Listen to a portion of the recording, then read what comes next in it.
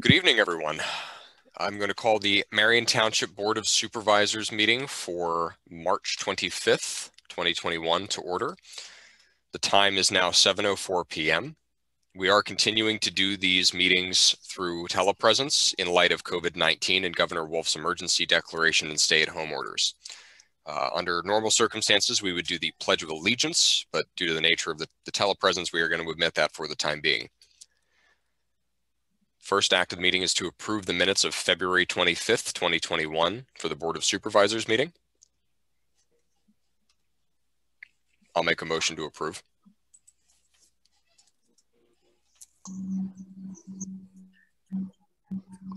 Do we have a second from either Jim or Irene?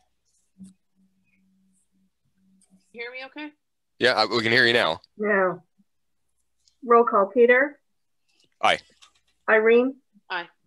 Aye. Jim? Aye. Okay. Next is to approve the minutes of the March 20th, 2021 workshop meeting. I'll make a motion to approve those minutes. I'll second. Roll call, Peter? Aye. Irene? Aye. Jim? Aye.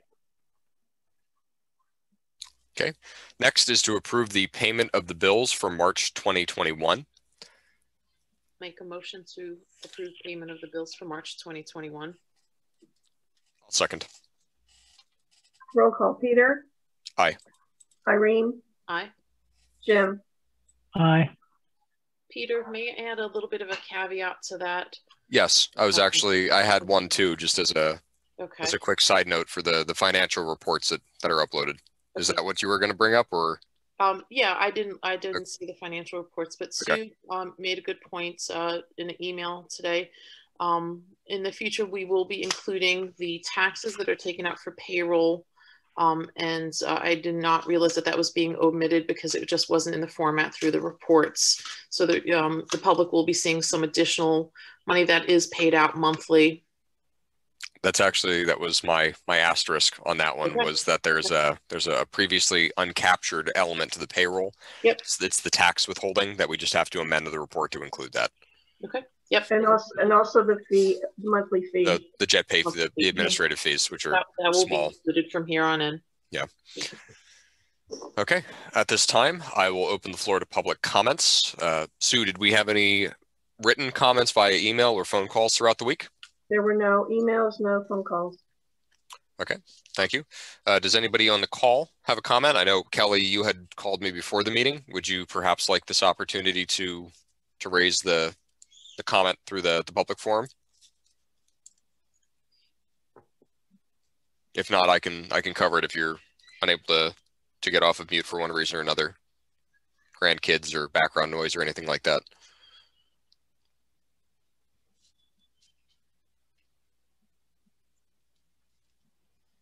Okay, well, I'm I'm just gonna dive into it. If Kelly can get off uh, off the the mute, then I'll let her take over. But uh, uh, the there were several concerns that Kelly raised. First and foremost, uh, the question arose around the community yard sale.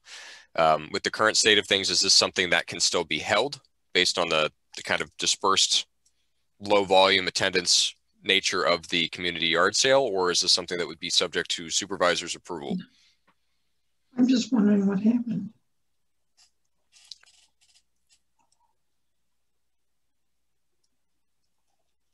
So Irene, Jim.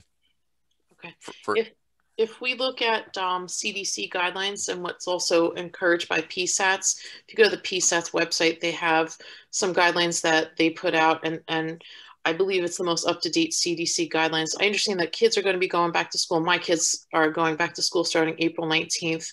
There's still recommendations to um, have restrictions on gatherings.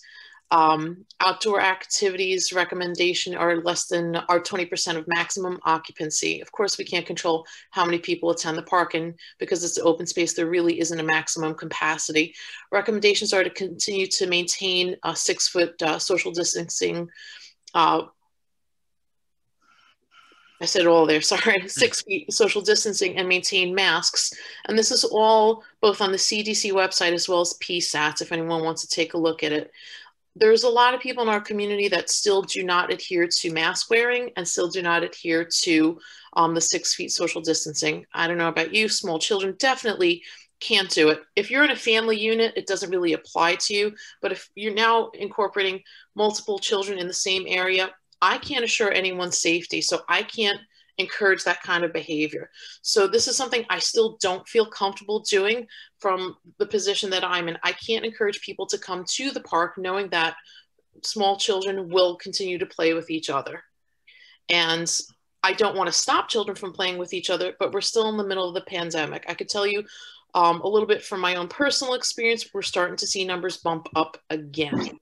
So even though some restrictions are being lifted, I think what's going to happen is there's going to be a bump up, there's going to be a spike, and we're going to have restrictions put right back into place. So, as a supervisor, I don't feel comfortable encouraging outdoor gatherings when we can't enforce people wearing masks and we can't enforce them keeping at you know the recommended distance from each other. I, I just don't feel comfortable being the source of a super spreader uh, event. Uh, forgive me, the lady who is there uh, from Kozlov Stout, I, I don't know your name. So, Courtney. Um, Courtney, forgive me, Courtney. Um, I don't see your name up on, on my screen. Um, can you tell us what other townships are doing with respect to um, parks, etc.? Sure. So um, everybody's had a different approach. Most of the parks are open at this point. Um, and then different municipalities are choosing whether or not they're there's a difference between having a park open and having an event at the park. Most of them are now having the parks open especially now it's spring.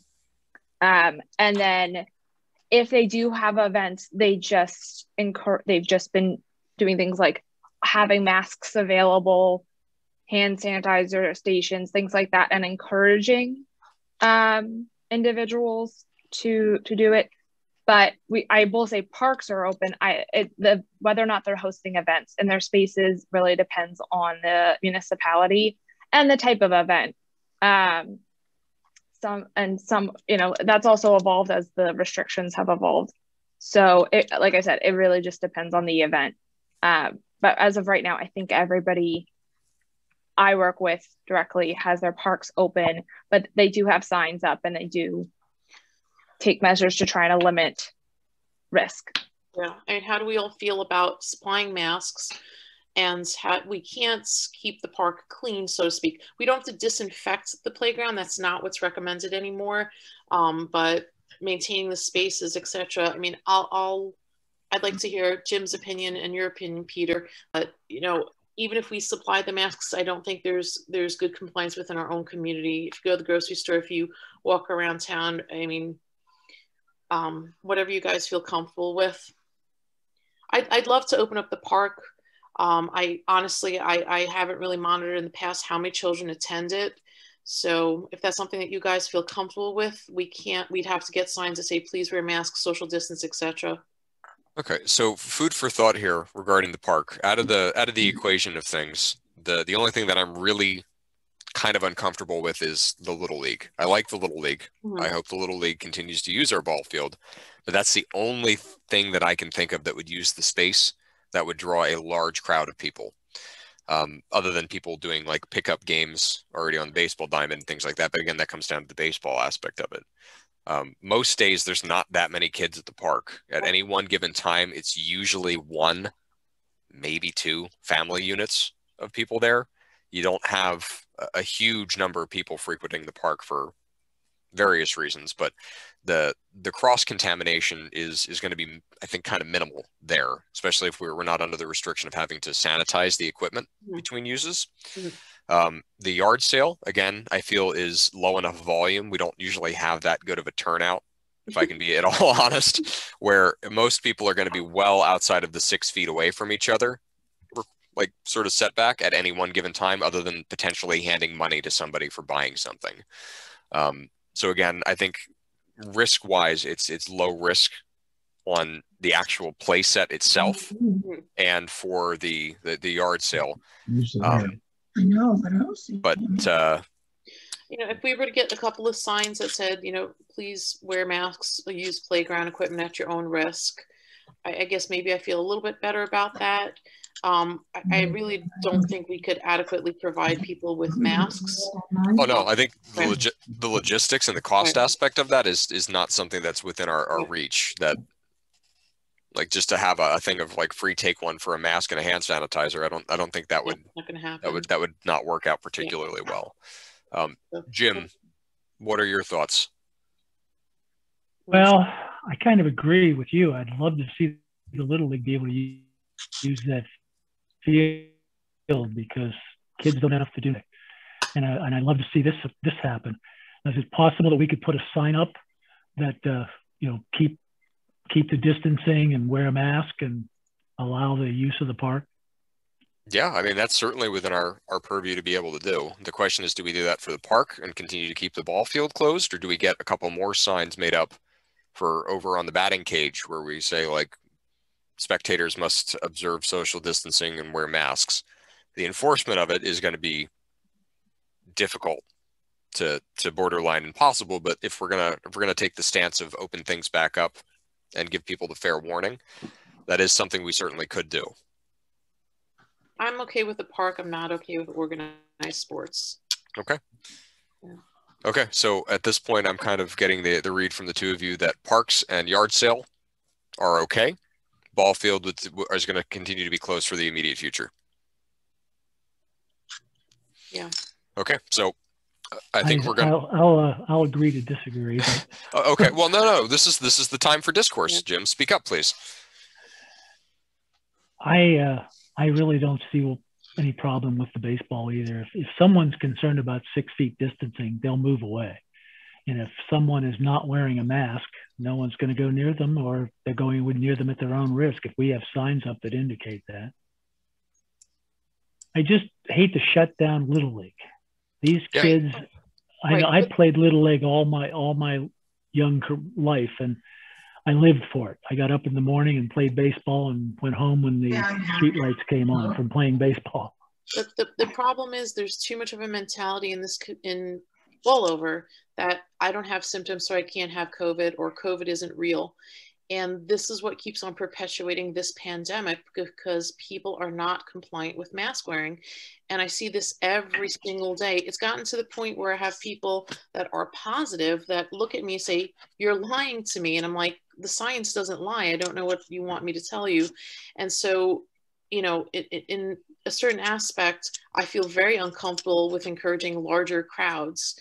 So, because people don't want to wear masks, it I think it's a little difficult to play sports in masks, especially if you're outdoors and the weather's getting warmer. So, I don't feel comfortable with Little League. If Peter's telling me that the park is frequented maybe by like one or two family units, I don't have a problem with that. If we had a very large uh, group of individuals that attended the park routinely, I would feel uncomfortable. But I'm going with what Peter's telling me about park attendance. But I, I, I can't encourage anything larger than maybe one or two family units going to the park at a time. We I'm still seeing people there, you know, despite the fact that there's a sign that says park is closed. So That's true. Yeah. With that said, I do appreciate everybody who has actually observed the, uh, uh, one moment.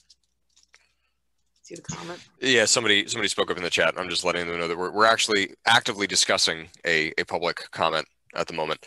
Um,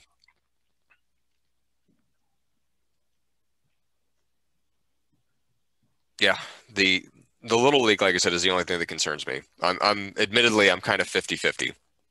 Part of me wants to say like yes, people should use sufficient prudence and good judgment and you know socially distance and everything like that but the realist in me says that nobody's actually going to do that Mhm.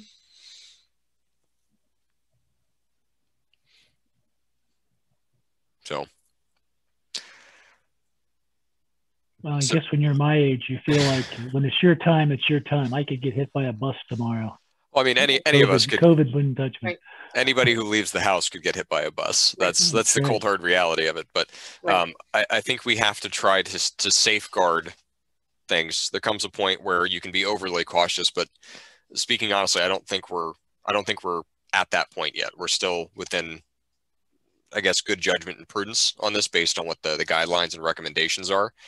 If other other places are, are opening up whether it's for right, wrong, or indifferent, the test of time may prove that they were they were right, or we may find that, as Irene said, we're at a point where restrictions start getting lifted and we're going to see a surge of cases.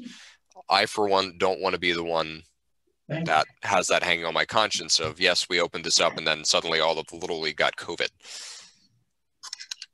Yeah. I, I defer to you and Irene's judgment. Yeah, I mean, I'm seeing we're seeing more and more kids at organized sports getting COVID. Um, you know, it's it's that 15 minutes that you have your mask down that you're close to someone. That's when when you transmit it. And people that are asymptomatic still have COVID, and we're just seeing a slow bump up in numbers until we're going to see another big surge again. So I'm fine with the park reopening. I couldn't comment really on the the um, community yard sale because again, not having participated with it previously, um, I'm, I'm not in favor. I, I'd love to see the kids play. You know, I, I agree with you, Jim, in that aspect, but I would feel very uncomfortable because I, I don't, there's too many people that are just too callous towards this at this point, And, you know, just not enough people think that this is real. And unfortunately, there's, you could see it going to the grocery store, people don't wear their masks you know. Okay. So of the things that we can all agree on, I would say let's let's make a motion to uh, get some signage or uh, to properly mark and post the park for reopening and use. Oh, you were on there. Motion number one, I suppose.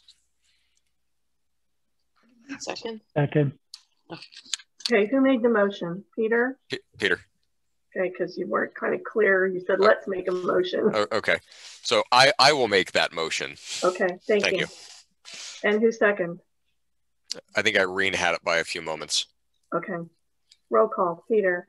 Aye. Irene. Aye. Jim. Aye. Okay, thank you. Okay. Next motion. Allow the community association to coordinate the annual yard sale. Second.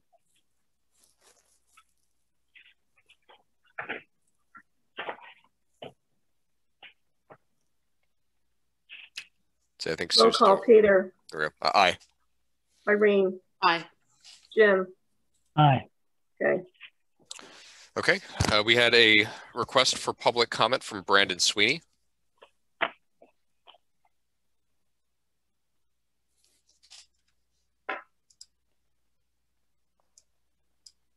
Say, Brandon, you, Okay, sh- you yep. should. There you go. Sorry, I'm trying to trying to navigate this thing. Oh, I was no, it's okay. actually, I was actually trying to type my uh, what what I wanted to say here.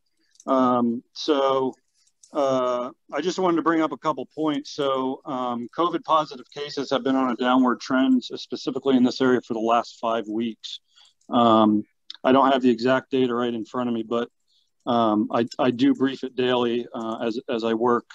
Um, with PEMA on the National Guard side and the DMVA. So um, this is something that uh, I deal with on a daily basis. Uh, second point, at least uh, so, so concerning the park and Little League, et cetera, um, uh, we are the only township in, in the immediate area that doesn't have uh, our park opened. Um, and, and that's a fact. Uh, second is that um, COVID positive cases in children and teens um, is uh, little to zero, and that has not changed um, not only in this area but across the country. Um, so, you know, th- th- there there's no data, there's no science that that um, proves that it's an issue. Um, uh, I, I do kind of agree with the organized sports thing because we're not only talking about children, we're talking about uh, families and, and parents that, that bring their children. But uh, I mean, the bottom line at the end of the day is, uh, you know, we're, we're not the, uh, it's not our responsibility. It's not the township's responsibility to, to enforce rules. The best you can do is post signs and, and hope people abide by it. But, um, but folks have to be responsible for themselves. And I think we're at the point uh, in, in, this pandemic where, um, if people don't want to be around uh, potential infection sites, they're not going to go there. Uh, and, and, people that um, are taking the proper precautions, they are going to attend and, and they are going to follow the rules. Uh, so that's just my two cents. uh, on, this specific issue. Brandon, are you able to share where you're getting your statistics from? Because I'm not seeing that that specific trend with children and teens. In fact, what I am seeing, and I work on in a clinical setting on a daily basis, we're actually seeing more uh, children become positive as of late. Yeah, I, I, actually pull stuff from a number number of sources, um, but uh, uh, I want to say I mean, one of them is the Pennsylvania Department of, I think it's the Pennsylvania DOH dashboard that they have posted uh, online. I'm not quite sure exactly of the site right off the top of my head, but um, I, I, do have a number of other sources that we pull data from on a daily basis um, and, and, really breaks down um, into very detailed uh, and specific information. And I can certainly uh, email that uh, that data over um, tomorrow when I get into work. That'd be great. Thank you. I appreciate that. Yep. Thank you very much for the comment, sir. Thank you. Okay. Do, do we have any other public comments?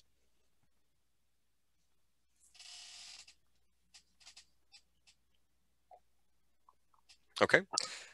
At this time, we're going to move into the items for discussion. Uh, for everybody that is uh, a board member, Sue, Courtney, Jim, uh, I'm going to do the mute all. So you will have to unmute yourself, but as a co-host, you will be able to do so. So that way everybody is kind of level set as muted. So we avoid background noise or other disturbances through the remainder of the meeting.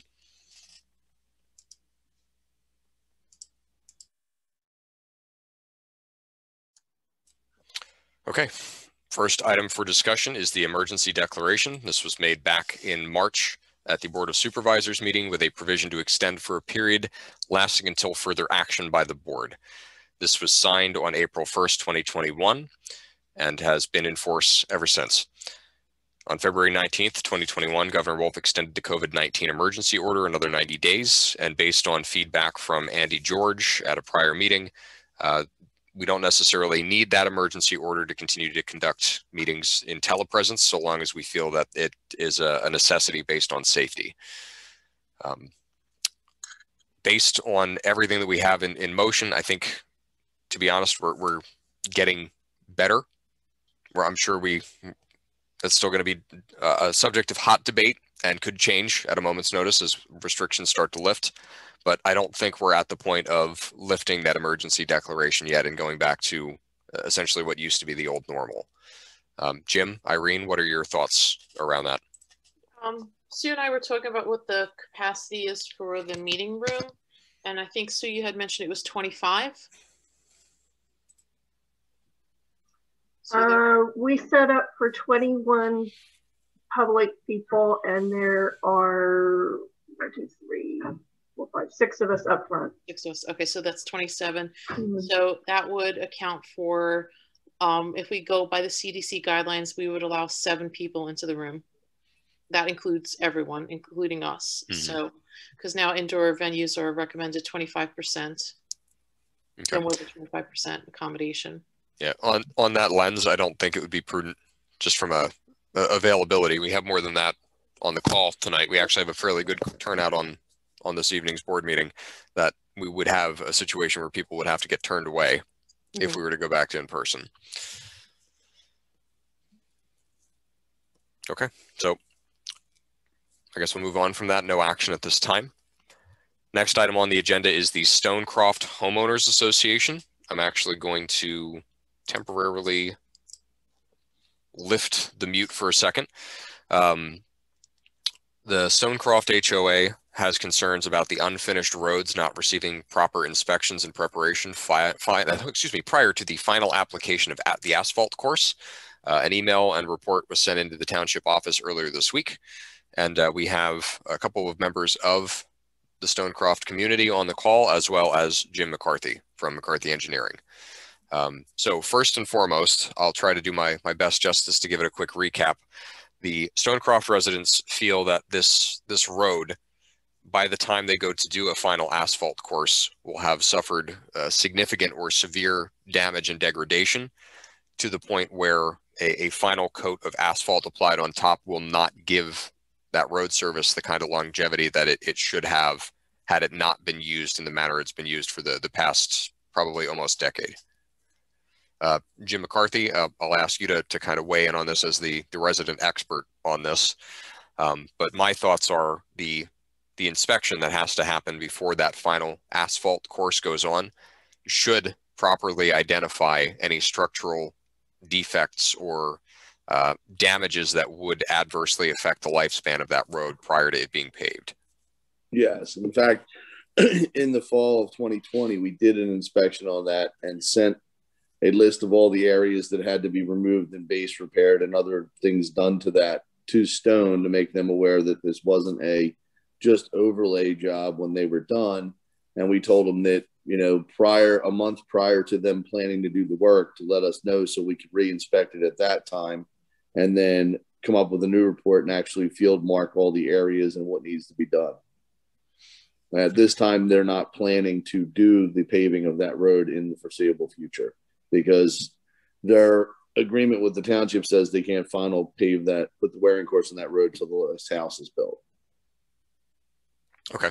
So just to put a, a, fine recap on that, it sounds like a lot of the concerns that the Stonecroft residents have about that is is going to be brought in on normal process for the inspection that we're not going to let them put uh, kind of a coat of paint on a, a rundown structure.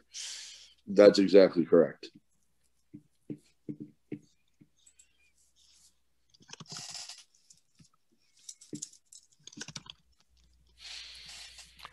Okay. Uh, Fred, I know you're on the call and you were going to represent some some points. Is there anything that you would like to cover additionally or, or bring up beyond that? Well, it would have been nice had we uh, gotten a copy of this report because it might have alleviated these concerns right up front. And I'd like to ask for one now. Certainly. So I think that's something we can certainly accommodate. Sure. Um, okay. We'll, we'll uh, ask Jim McCarthy to send that over that would help, I believe. Um, yeah, we had uh, asked Stone Group if we could core drill the roads to verify the foundation.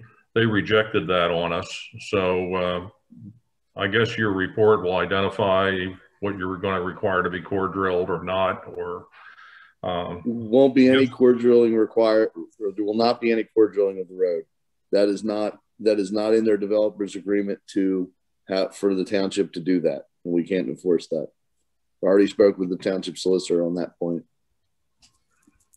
Okay. Um, what percentage of the road did you identify as having to be rebuilt? I guess is the bottom line. I don't really remember, Fred. It was nine, ten months ago, and I'd hate to yep. guess. And basically, we told them that it, you know, whatever was in there was irrelevant, but we were just making them aware of the fact that that was not going to be a just a simple overlay of the cur- of the street surface. They were going to have to do substantial base remediation before putting the overlay on, and that the final report would be issued uh, immediately prior to them doing the work. Because if it's another year and a half, two years, it's going to deteriorate more and require more repair than even what we would have seen in September. Okay, that's um, we look once we look at your report and we believe I believe that's it sounds like it's got us covered pretty well.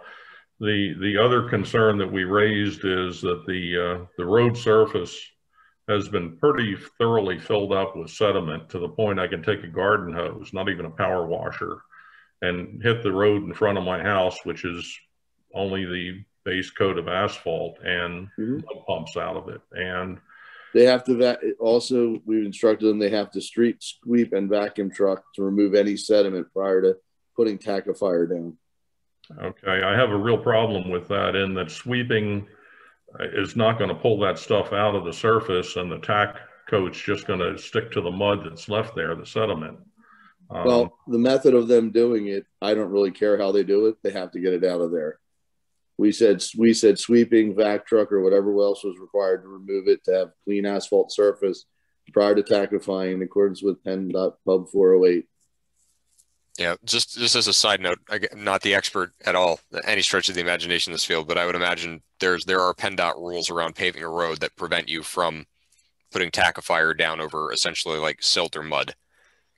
Yeah, there's there's what I'm trying to say is there's far more mil, uh, silt and mud in that road surface than is on uh, below the surface than there is on top, and the concern is how good is that going to be if we don't do a power wash on it? But uh, okay, Yeah, we can't, we can't stipulate the means and methods which they use to accomplish the specification, but they have to accomplish a clean surface free of any sediment, dirt, any type of debris, and has to be dried. And then we have all the temperature requirements of when they can do it and, you know, 45 and rising, ground temperature over 45.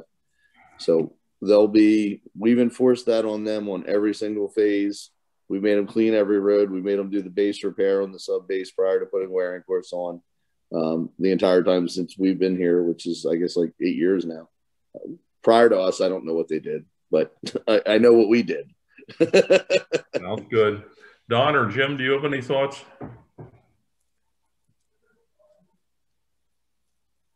Jim's muted. He's talking though. And say he should be able to unmute himself. I have the uh, You press the space bar down to unmute or yeah. Let me let me see if I can send him a ask to unmute request. He's got a helper. How's that? Much better. go, we can hear you. There Okay. you go. All right, great. You may not want to hear me. No. Uh, what I hear sounds good to me. The, the basics that we have on a road is that it be clean before you put a lift on it. And the lift should not be put over something that is degraded. And the degradation needs to be removed and replaced with good material in the order that it was supposed to be put in, which is the gravel, the binding course, the wearing surface, which is the fine and the stuff that, that's missing on uh, uh, my road right now. Right. What I hear you say, uh, Jim, is uh, is that yes, we're not going to we're, we're going to have you clean this surface off. The way that you clean it is your business. Okay, I can go along with that. It's better than nothing. And um, the, um, the idea that you're going to remediate the bad broken areas before you put a new material on it is good news for me. So I'm kind of liking what I'm hearing. Yeah, and I know you said some concerns about cracks. If it was, you know, if it's a crack, if it's a single crack going somewhere and it, it doesn't appear that it's any type of structural failure, we would have them seal that. But That's right. but we're we're more of the areas we identified to them so far were areas where we were going to require them to do full depth removal and put new stone base down, put new BCBC, put new binder down, you know, on those areas. Okay. So, yeah, we've had them. We, we've had them. I mean, they fought us every other street, but we made them do that every time. Mm. Yeah. The one the one thing I can say with absolute surety, if it's something that the township can do to protect or, or, or assist, we'll do it. There are certain things that are going to be outside of our, our I'll say jurisdiction to do. And in those cases, we'll, we'll try to, to redirect or help you however we can. But this is one of the times that we, we can absolutely help. The Yeah. concerns that you have are, are warranted and are well within what we're going to be mm-hmm. doing to assure that you you have a, a quality road surface, no different than anywhere else that we would do that kind of work in the mm-hmm. township. Yeah, we're not going to let them put a wearing course over a bad sub base. Okay. That's, that's not going to happen. And we can make sure that the manholes don't penetrate through the surface. Well, the, all those will have to be adjusted to final grade before they pave. Right. Yeah. Yeah. Yeah, because I know some of them are some of them are set high in their permanent condition. Some are still set low that need to be raised. Yeah. It's kind of like a hodgepodge out there on what was at the right grade and what's at what still needs to be adjusted. Yeah, I know. I run over it periodically. Mm. I would be interested to know if Don Smith has an opinion. It's Don. I thought I Yeah, saw Don Don was on. Yeah, I see Don. Yeah, Don was on. He should be able to unmute himself, but I'll, I'll also send a ask to unmute request to Don. See if he'd like to weigh in. We'll give him a, a few moments.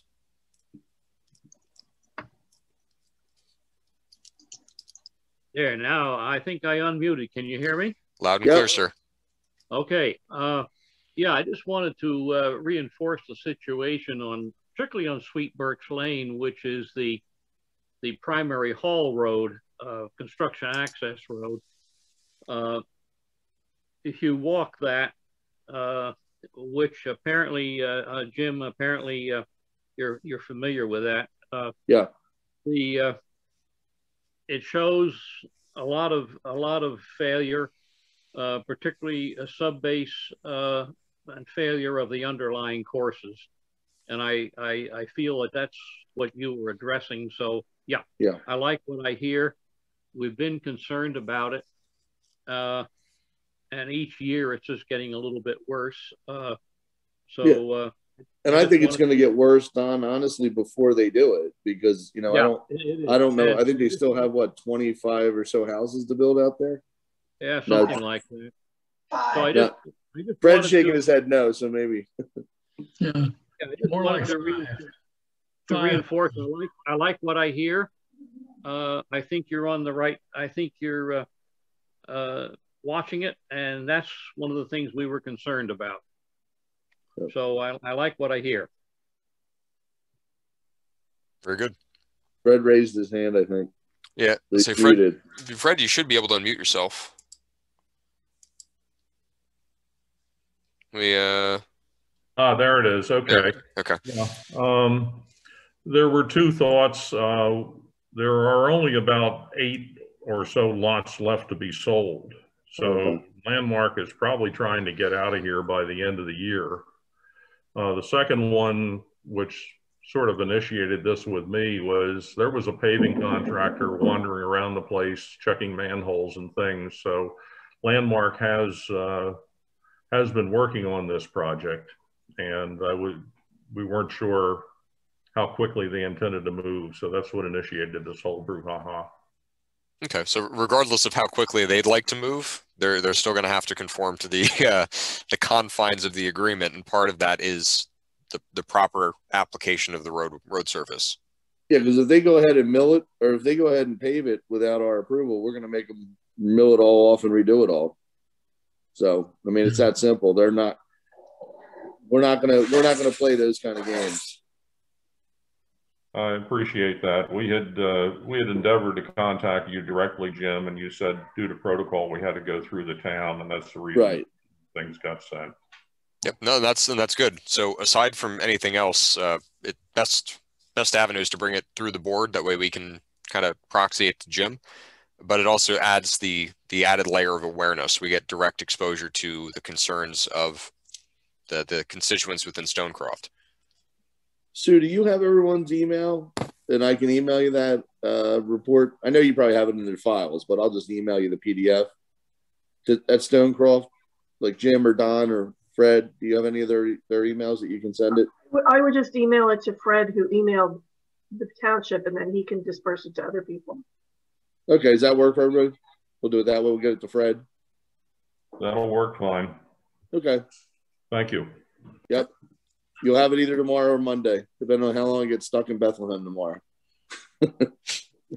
thank, thank you, Jim. Uh, I like what I hear. All right. Good. Okay. If we don't have any additional items on that point, we'll move on to the next one. Um, I was just going to add, Jim, you're going to do a final inspection whenever this is done anyway. And if they didn't do anything that they weren't supposed to, you're going to make them correct it. Oh, definitely. Yeah, but we have to go around when they're done to make sure they set everyone's lock right. corners and any road monuments and street signs. And I know I know Sean was out there because they put the lights in, but they're not working, and they told us they're not hooked up yet. They're waiting for something from uh, electric company to hook them, energize them.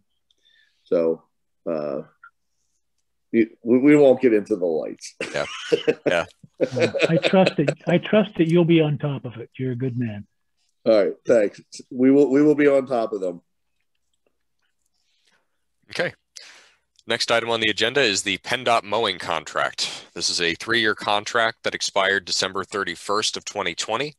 Uh, the standard agreement that we usually have with them for the, the same square uh, footage and distance on roadways.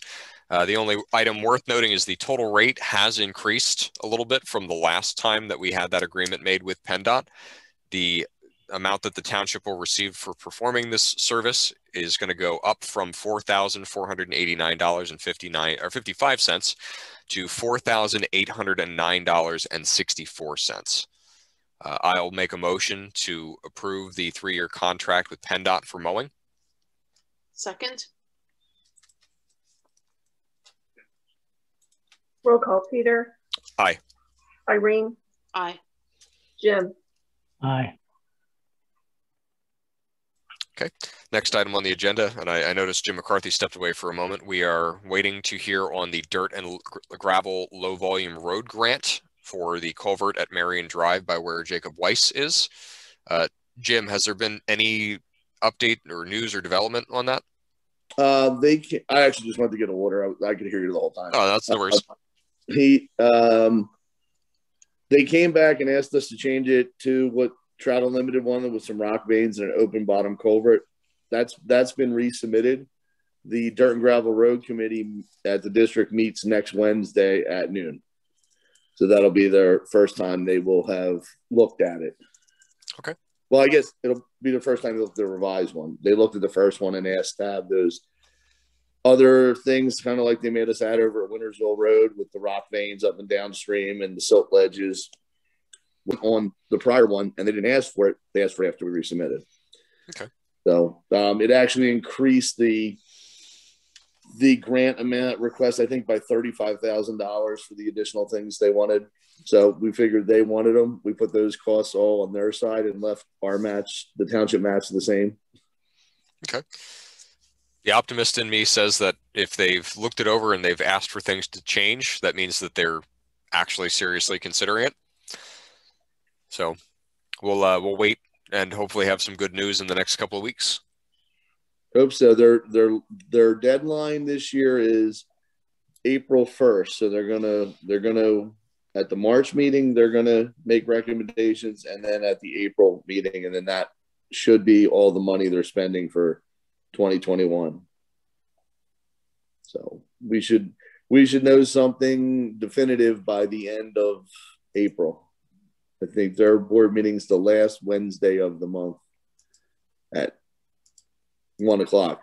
So the committee meets at noon and, and then they bring it to the board at one.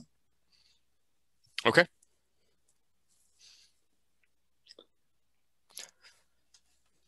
Okay, I don't have anything further on that one, so we'll move on to the next item.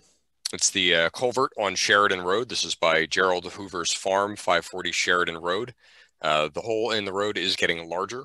We previously asked McCarthy Engineering to get us pricing uh, for our road crew to replace a 12 foot by 4 foot box culvert, including materials. Uh, we did receive an update earlier today uh, based on the Barwis Constructions quote and an assumed length, including paving and et cetera, uh, but no base repair. Uh, assuming some labor from the township, we're still looking at a, a rough cost of around 90,000, which is down by about 39,000 over the original estimate. The culvert by itself is still about 36,000, uh, and then the end walls are another 12, uh, which would be 48,000 just in materials. Uh, the next biggest chunk of that money is uh, in terms of the guide rail installation, which we would want to have done by another another firm. Um, and correct me if I'm wrong, Jim, but that's largely around liability because if you install the guide rail yourself, you become and that might, might actually be a question more for Courtney, but if you install the guide rail, if it happens to be involved in an accident, the township as the, the installer would be culpable for that. For anything that didn't meet the current specs, and PennDOT spending something like $7 billion over the next five years going around the state and making all their guide rail comply with the state regs or the new federal regs there's really only like two companies that install guide rail around here. No, none of the contractors even do it on their own mm. for liability reasons. Yeah, I know we had a similar, very similar conversation around a Hickory Road with that right. that slight dip there that we opted for a like beware sign because of a couple of reasons. Uh, one, we couldn't get guide rail at the time; nobody was doing it, um, and it was really, really expensive. Um, oh yeah, guide rail's ridiculously expensive. So um, yeah, I'm I'm pleased with that. The only follow up question I had was of of that, uh, let's say roughly ninety thousand dollar estimate. Are there other areas within that project where, other than the guide rails, where we have not leveraged the the road the township road crew that we are still relying on other firms that we could potentially shift over to our guys? We were kind of relying on the township to do everything other than Okay. set the culvert and end walls and do the guide rail. So we figured the township guys would do the demo, excavate out, and have everything prepped. Because typically, with the culvert delivered, they'll take it right off the truck and set it, Mhm. and set the end walls. And then we figured the township would do the backfill over top of the culvert, and actually then do the road paving. Okay. So, or did we cut a cut a deal with Butch to do the paving or something? Yeah, I was, I was actually going to say, I know we don't we don't necessarily have the equipment necessarily, but we might be able to work something out with uh, another municipality that we're, we are in good good relations with Right. to help us out there. Um, okay, so uh, Irene, I want to connect with you to see how we'll fit that into the budget based on the other road work that we're looking to do. Okay. But I think this is something that is is desperately needed and would be a good use of our, our road crew. Okay. I just need numbers. Okay. So I'll, I'll shoot you an email and we'll connect and, and see where that, that Okay. fits into the equation of things, but it's roughly about 90,000. Right. Okay. Speaking of road work, the next item on the agenda is the road project 2021. Um, I actually had misread one of the, the outlines in the thing. The Stouchsburg Road is actually only for a 450 foot section, not the, not the 0.7 miles. So it's actually going to be considerably less to do a, a, full resurface on that. Um, Okay. um, so that actually might might be back as a, a, a real tenable thing to to have in there. Um, I believe the the rough mental math that I had based on just square footage for 0.7 miles was I think 228,000. When I did the math for that for 450 foot, it came out to about I want to say 28. Twenty-eight thousand. Yeah. Yeah. Um, that I think we could certainly keep that in the project along with the other square footages that I had indicated for like the crack sealing and things like that. Um, Right. So, um, I think I think at this point the the package is with that one minor update or the couple updates that I had given you, Jim. If we can make those, Yeah. we can get we can get that out on PennBid like immediately. Yes. Yep. Um, so I know this had been previously approved back when Peter Wallace was on the board before we we had kind of stopped and said, hey, we should really get some remediation done before we put the the oil and chip layer over. Uh, so for good measure, I'm going to make a motion to authorize Jim McCarthy to add the additional requirements for remediation to the 2021 road project packet and post it to PennBid. Second.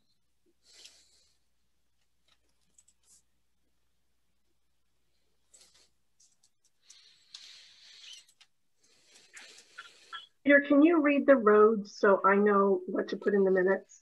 Yes, give me just a second to open that up.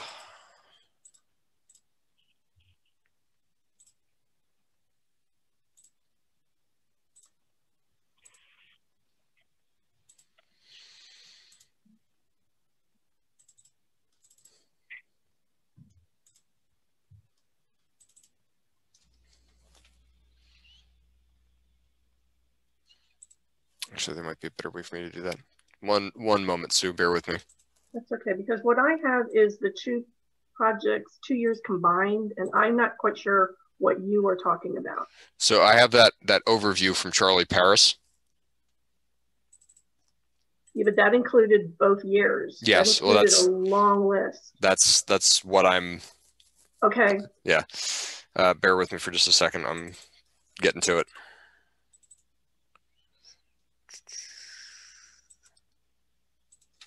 Actually, here.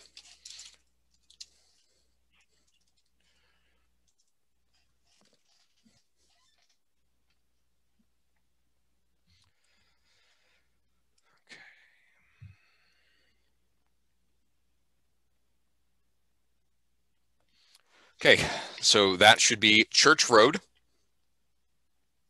Idris Road, William Penn Boulevard, Sheridan Road, Palatine Place, no, wait. Sure. Okay, Stouchsburg Road, Smaltz Road. okay, And I'll, I'll send you the table for when you type up the minutes that, that you have any of the the distances, the the foot. Okay.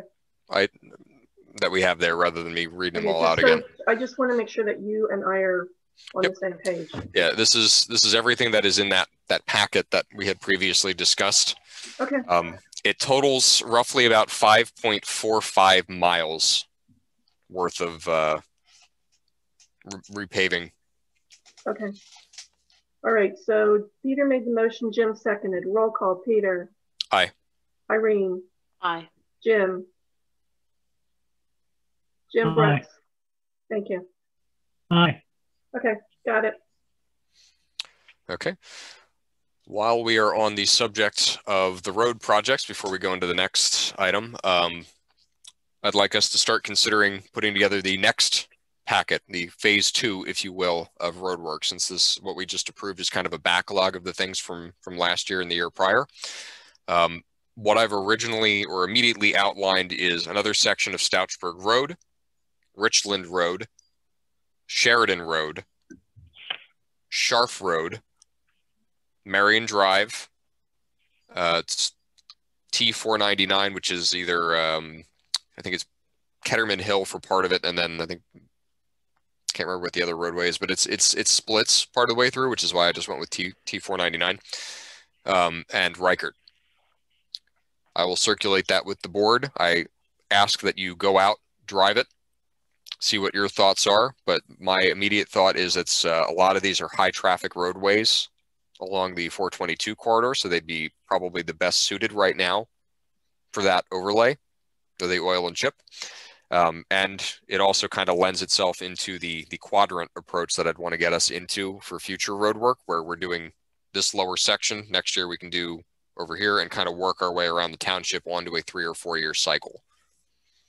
Peter, is this for 2021 or 2022? 2021. Okay. Yeah, I'd like to see us do while we have it, as long as we have it in the budget, get as much of this in this year as we possibly can. Okay. Give me numbers. Uh, the big, I think the big thing is we give, I'll, as long as everybody's okay with what I send out, we'll send it over to Jim McCarthy to get kind of a rough ballpark estimate of what we're looking at and see where it fits into the budget. Um, as I'm, I'm not a road professional, I, I could make a, a slightly uneducated guess at cost, but it would better be better to have slightly firmer numbers for the purposes of figuring out the finances. We did get our liquid fuels funding uh, for the Oh, first good. half of the year, and it was the same contribution as last year. Although um, emails had gone out from last year that there was going to be a little bit of a, of a decrease because of uh, funding. So, but we did get the same exact contribution that we had so far as last year. I don't know if the second half is going to be the same. Okay. Okay. If we don't have any additional points on that, I'll move into the next item, which is the Berks County Cooperative Purchasing Council line painting. Uh, we made a motion at Saturday's workshop to authorize up to 20 miles, uh, including double yellow, single yellow, and single white outside edge and crosswalks during 2021.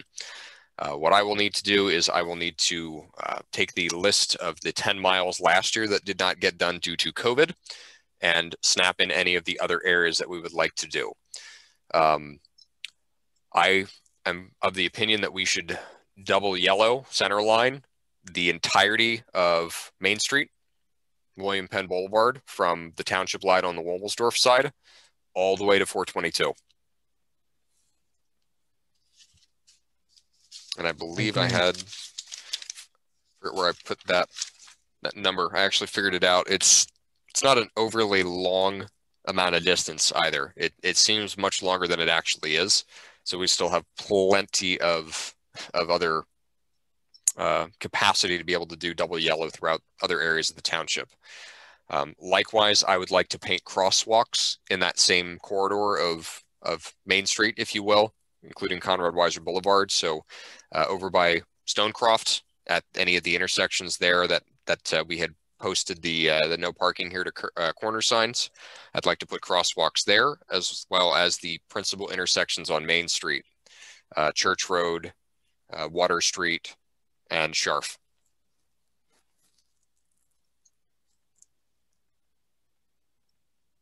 Jim Brooks, I agree Irene. with that. I agree. Okay. Okay. Yeah. The other thing that I'd like to do, and this is going to be kind of an open question for Jim McCarthy and Courtney, is on Main Street, on the main corridor there where the, the road is very wide. One of the problems that we routinely have is people speeding. I know one of the mechanisms that you can use as uh, traffic calming or speed reduction is to paint outside lines. Even though the roadway is wider, you can paint the outside border of the road, which helps to visually narrow. Is there anything that would prevent us or prohibit us from doing that on Main Street? Nothing I can think of as long as you, you know, as long as we paint it at a correct PennDOT lane width. Okay. And I certainly would want to do that. Um, I so- I agree. I don't I don't I don't think there's anything as like as long as you're complying with the width. Yep. That's where it's really an issue. Yeah. Yep. And that's, You- I think, you- that's going to be to- one of those. I'm sorry, go It ahead, would Jim. just be depending on what's adjacent. We'd have to look at for the width because if there's parking, you have to have a wider lane. If there's no parking, you can have a narrower lane. Yep. Um, so I would think you're gonna you're probably going to be a minimum of 12 feet clear, and then if there's parking, you'll probably be 14 to the line, and then have to be another two feet clear to a parking space. Okay. So just have to look at it. Yeah. Where you want to do it. I Okay. mean, we can just look at it from Google Earth and tell you how wide it should be. Okay. Yeah. Um, I'll take a look. If you could take a look too as a sanity check for me. Sure. Um, I think we have plenty of space there. By just kind of a rough estimate, I think we'll be able to have not only the lane, but we could actually potentially have enough room that if we wanted to paint in like a, a bike lane or something, because of it being very, very wide through the center section of town, that I, I think we've got enough real estate to, to, to do that with. I- I would not advise painting a bike lane Okay. Noted. because if you paint if you paint an actual designated bike lane, you are guaranteeing the safety of the cyclist. So you're guaranteeing adequate sight distance this entire length of the route. That's why if you see out in like Robesonia where PennDOT put it in, they just put the sharrows, the biker sharrows down the road, hmm marking the route. As soon as you put the line, you're guaranteeing if they're inside that line, they have adequate sight distance everywhere. So I would, knowing Main Street and how the parking and how tight our, our radius curves are, Mhm. I don't know that I would recommend painting the bike lane. Okay, noted. But uh, the ori- original underlying point is I think we've got plenty of space between Yeah. outside lane and where the, the cars are going to be parked. Like there's there's going to be plenty of mo- uh, room there as a buffer. Um, okay, so Jim, Irene, Sue, Oh, drive around, see if there's anywhere that you can think of that would be a, a good candidate for additional line painting, whether it's outside edge, double yellow center line, etc. Let me know. I'll be doing the same this weekend at some point, and uh, taking some notes as to where I think it would be a good good spot. Um, Just keep in mind that I need linear footage by the first. and I need to know how many cross, I need linear footage for crosswalks and this must be in by the first. Okay, So we'll one way or the other, we'll get that. I can I'm gonna definitely focus on the crosswalks. That should be relatively easy. I can figure that out. I could probably even figure that out from from Google Maps, as Jim had indicated, because I know exactly where we want to put it and I know exactly kind of how it needs to be laid out. Um, so I can figure that out. Uh, the, the single white line on the outside edge, again, I can figure that out from Google Maps because of just being able to look at the road from a like an eagle eye view. The real big thing is the double yellow. I know of some spots that could certainly use it, but extra input is always appreciated because there's going to be things that you guys might notice through your, your daily travels that I, I might not either notice or pick up through through a quick circuit around the township. Okay. Uh, one other thing, uh, quick question, Sue. When when can we get the uh, the cold patch for potholes? It's They, it's are, they be already they already started making it. good. I was gonna say I thought it was the first week of April, but Um, I had called uh, about two weeks ago and they had just made a batch. Excellent. Um, Jim, Irene, we have potholes galore. Um, I'd, uh, I'd, I'd like to get uh, a couple of loads of cold patch so that the road crew can get turned loose on going around and patching potholes. Um, so I'll make a motion to authorize the purchase of up to three loads of cold patch. Okay, specify which truck. Which one do we usually use? It's the little one, Well, it? uh, It depends. The of course the bigger truck holds more. Um, Butch had made the comment about filling up both trucks, and I said, I don't think you should do that because if we have a storm and a tree blows over and you got to go get it, and your truck is full of cold patch, uh, that's not a good idea. Yeah, I'm thinking little truck. Okay. Just by the nature of how we tend to Um, use the big truck. The big truck is, um, I think, seven ton, and the little one I want to say is three. Okay. Uh, I mean, it, you know, to use, a- use a little truck, they would have to go back and forth more often, but uh, you know, it is what it is. Yeah. So we could basically just shy of two loads in the big big truck if we did that. hmm Okay. So I'm thinking I'll talk to Butch tomorrow and we'll we'll get the big we'll use the big truck for that. We'll use the little truck for like storm debris removal. I'm gonna find something wooden to knock on here, but I, I'm hoping we don't have any more snow this year. Um, but we'd get I think better efficiency out of the big truck, taking it down and getting essentially two loads of cold patch at one time rather than the alternative. Uh, so I'll actually amend my my uh, my motion to be uh, up to four loads. Uh, I guess it would be two two trips, two loads on the the large truck of cold patch. Okay.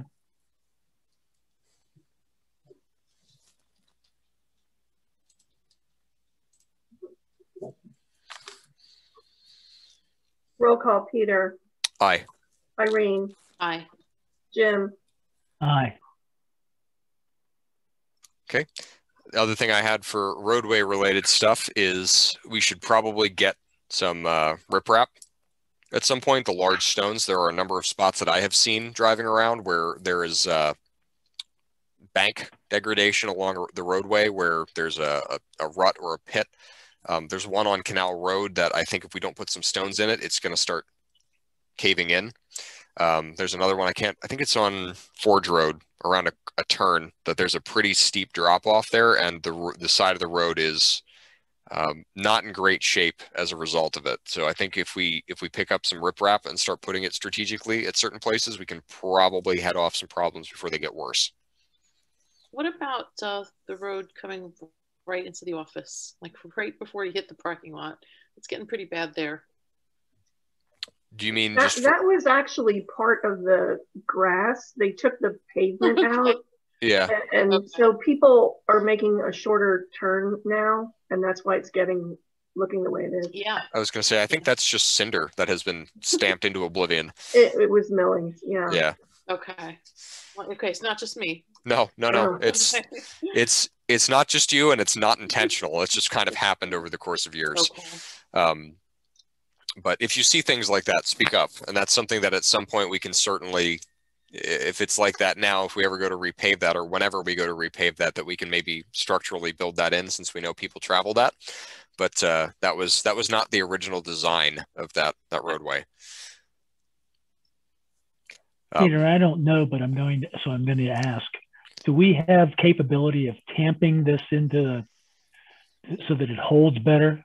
Not with a we don't have like a kangaroo like the the power tamper but we do we do have the ability to hand tamp one of the things that i think has driven people nuts and sue feel free to, to speak up on this was I think we Uh, actually do have one of those mechanical tampers, but the guys don't just don't use it. They drive over it. where where is it because i i haven't been able to find it I asked Butch.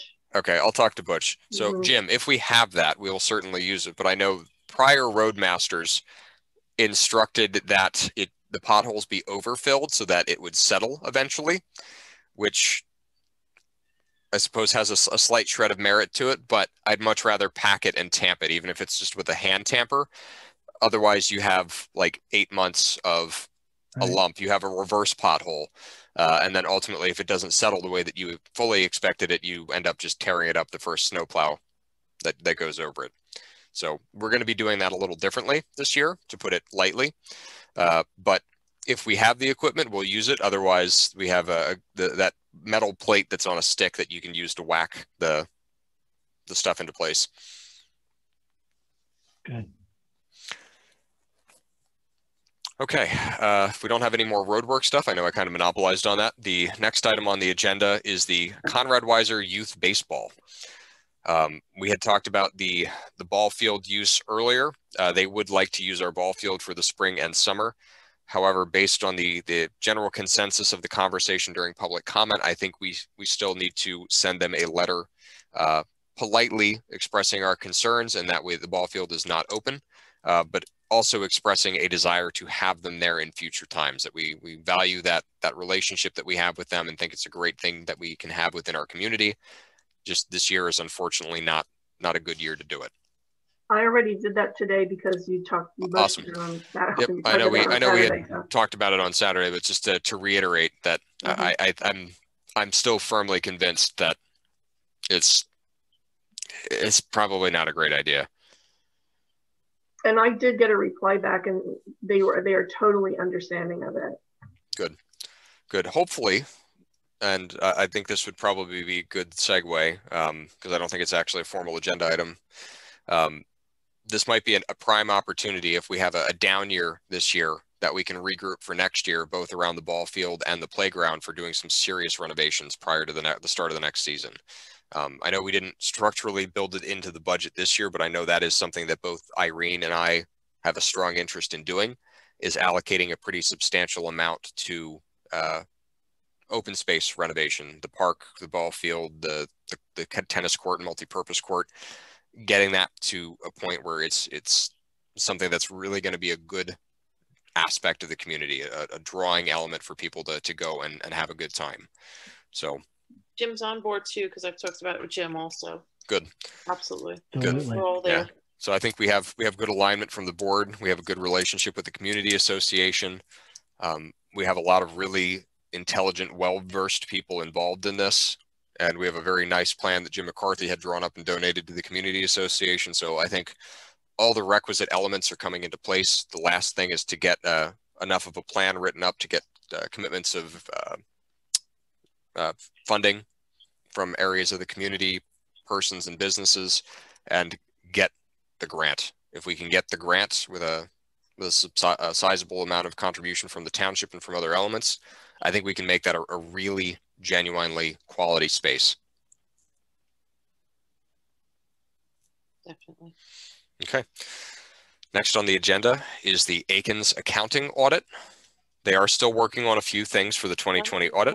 Nope. No, no, they're done. Okay. Well, well, well, well, let me let me say this. We've submitted everything to them, um, everything that they've requested. We're just waiting for the the closeout. Sue, have you received any communications since the last one? No. Yeah, I don't think we've received anything since what the first uh, week of uh, March. So they haven't re um, requested any uh, further um, information. So again, I think things went well, and I can't thank Dan, Dan and Sue enough for helping me out. Um, and uh, the nice thing about Aikens is, is that they're there for us throughout the entire year to help us keep things tidy. And if we have any further questions to make our um, bookkeeping, accounting, uh, a smooth uh, running operations. Um, if I could add one more thing just to that, um, I spoke with uh, Rick Rule today. He's going to help us update our program because um, I noticed the program has locked us out of some of the features that we could do previously. He said that's because the program's probably out of date. Um, he's going to be helping us with some general housekeeping items that we had talked about on previous meetings and uh, just keep us moving forward and keeping us on a good, healthy plan. So um, I've enjoyed working with him. He's going to hopefully help me come down to the office sometime in the next two three weeks. So we'll get things upgraded, um, up to par, cleaned up, and just keep on moving forward and get keeping things neat and organized. Okay, very good. Yeah. I, I look forward to hearing about what we need to do for the, the QuickBooks update because one of the things that I'd like to do as a takeaway on that is make sure that we get it installed on uh, multiple computers. So even okay. if Sue's not going to use it, we should still install it on her computer okay. and we should install it on the, the third computer that we have sitting there as well. That would be um, great.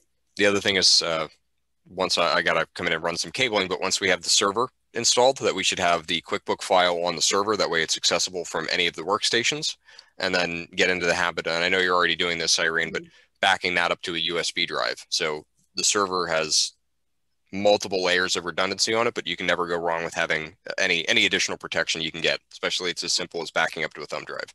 Yep, that's exactly what we've been doing. So I'm excited um, to get that done, keep moving forward with it. Okay, very good. Next item on the agenda is the website. Uh, we had the staff training. It was held on uh, Zoom on March 5th.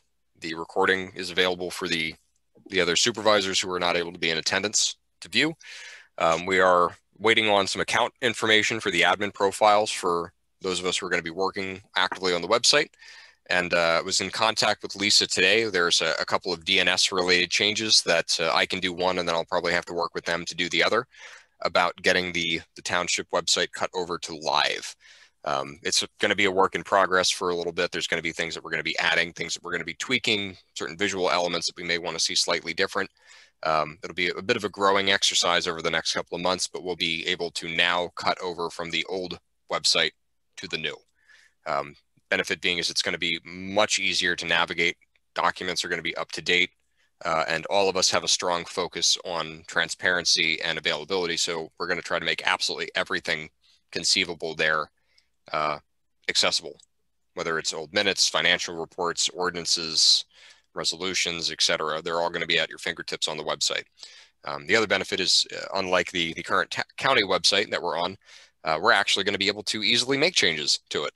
So it'll be a lot more real time in the sense that if something gets passed a Thursday night meeting, I could probably even upload it that same night. So I think it's going to be very good, and we're on the we're on the home stretch. Within the next couple of weeks, we'll be able to to cut over. Excellent. Thank you. Um, next item on the agenda is the noise ordinance. Irene, I will put it in your capable hands to discuss and review that. Um, it, I don't know if everyone's had an opportunity to take a look at it. Um, I know at the prior, at the workshop meeting, we had uh, just mentioned a couple of the revisions. Um, I think everything that everyone requested was put in there and I, I guess that's it. I, I apologize. I actually don't know. I saw I saw the one that we looked at on Saturday, but I don't know if I. No, that's it. That that's the only thing that that I have not added anything since Saturday. Okay. So the only thing that was added in is if two or more neighbors, two two or more individuals report it um, as a uh, disturbance, then it's a per se a, a disturbance. If the police witness it, it's a disturbance, and um, I can't think if there's anything else that I had added. You just changed the language of, of uh, one sentence in there too. I think you said within. Mm-hmm. Yep, I didn't say I found a, a couple of yeah. grammatical sort of things just yeah. as a nitpick. And you um, edited it, it in uh, the document. Mm-hmm. Yep, I edited it in the Google okay. Drive. So okay. uh, as long as you've made your updates there, I'll, I'll be able to, to see them. Yep. Um, just as a um, high, go ahead, Courtney. Oh, I was just gonna say, I mean, we were looking at it and we had some comments. Um, I wasn't, I, but I got the draft, I think, on Friday, so prior to your workshop meeting. Yes. So, okay. the Irene, real quick, summarize the changes. So there were a couple of grammatical things just on wording that I flagged, okay. and Irene added a, a, some other wording which we can send over uh, around okay. uh, observation stuff.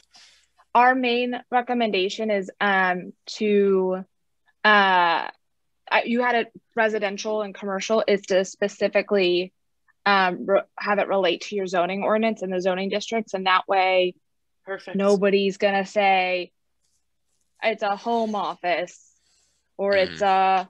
Uh, and if you do it that way, also it does give you the ability to maybe have different um, levels if it's in a more rural part of your township than the like the main business streets so what we can do is when you send me the revised one over, we'll just automatically insert that content from the zoning map. And then you guys at your next workshop can just decide on those levels. But I, that was our only main comment is we've seen people fight over stupid things in ordinances. Jim's nodding his head. Um, yeah. But having somebody be able to say your parcel's in this district, it makes the enforcement of the ordinance substantially easier um, because that's what you're relying upon is that measurement. Um, I mean, yeah, Jim Jim's been at meetings where we've had people yell about all sorts of things with me. Uh, but yes, if you have a clear definition of what things are, because you do have home-based businesses, you do have farms who people might somebody will say, well, that's a commercial because it's a business. No, it's not. Um, but you you want to kind of maybe just put it by the zoning districts. And from what I understand, you guys have quite a nice mix where you're in your township. So that uh, your zoning ordinance already takes into consideration how far away homes are and things like that um, and what the mixture of the uses are so like i said if you get send that over to me I'll incorporate it and send it right back to you, Irene. Otherwise, okay. I didn't have a whole lot of comments. That would just be my main comment. No, okay, so you. two two quick questions. So, uh, Courtney, is the is the the breakdown that's going to go in like uh, if you're uh, town center, low, des- low density residential, medium density residential, it's this level. If you're uh, commercial, it's mm-hmm. this. If you're highway commercial, it's this. If it's industrial, it's this. If it's ag preserve, it's it's this. That that sort of breakdown. Yeah, just for those measurement levels that mm-hmm. she had in it. Um, and then if you guys have any specific exceptions that you'd like to incorporate for a specific, uh, or if you want any of the exceptions to not apply to certain areas, you guys then have the flexibility of looking at, okay, this part of our township quiet is more important than maybe other areas where noise you might want to encourage in a business area that might be mixed with apartments or something where people know when they're buying or renting that property to expect some noise. I live in West Reading. I'm not expecting my apartment to be silent. I, am just, I know people no, are gonna.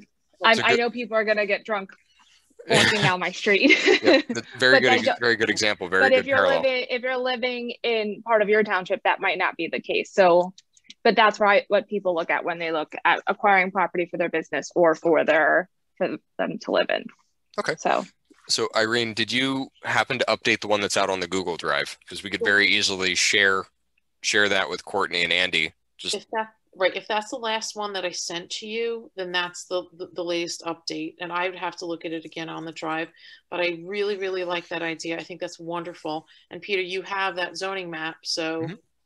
that works out great Yep. So I know it's I know it's out here on the drive. I will double check to make sure.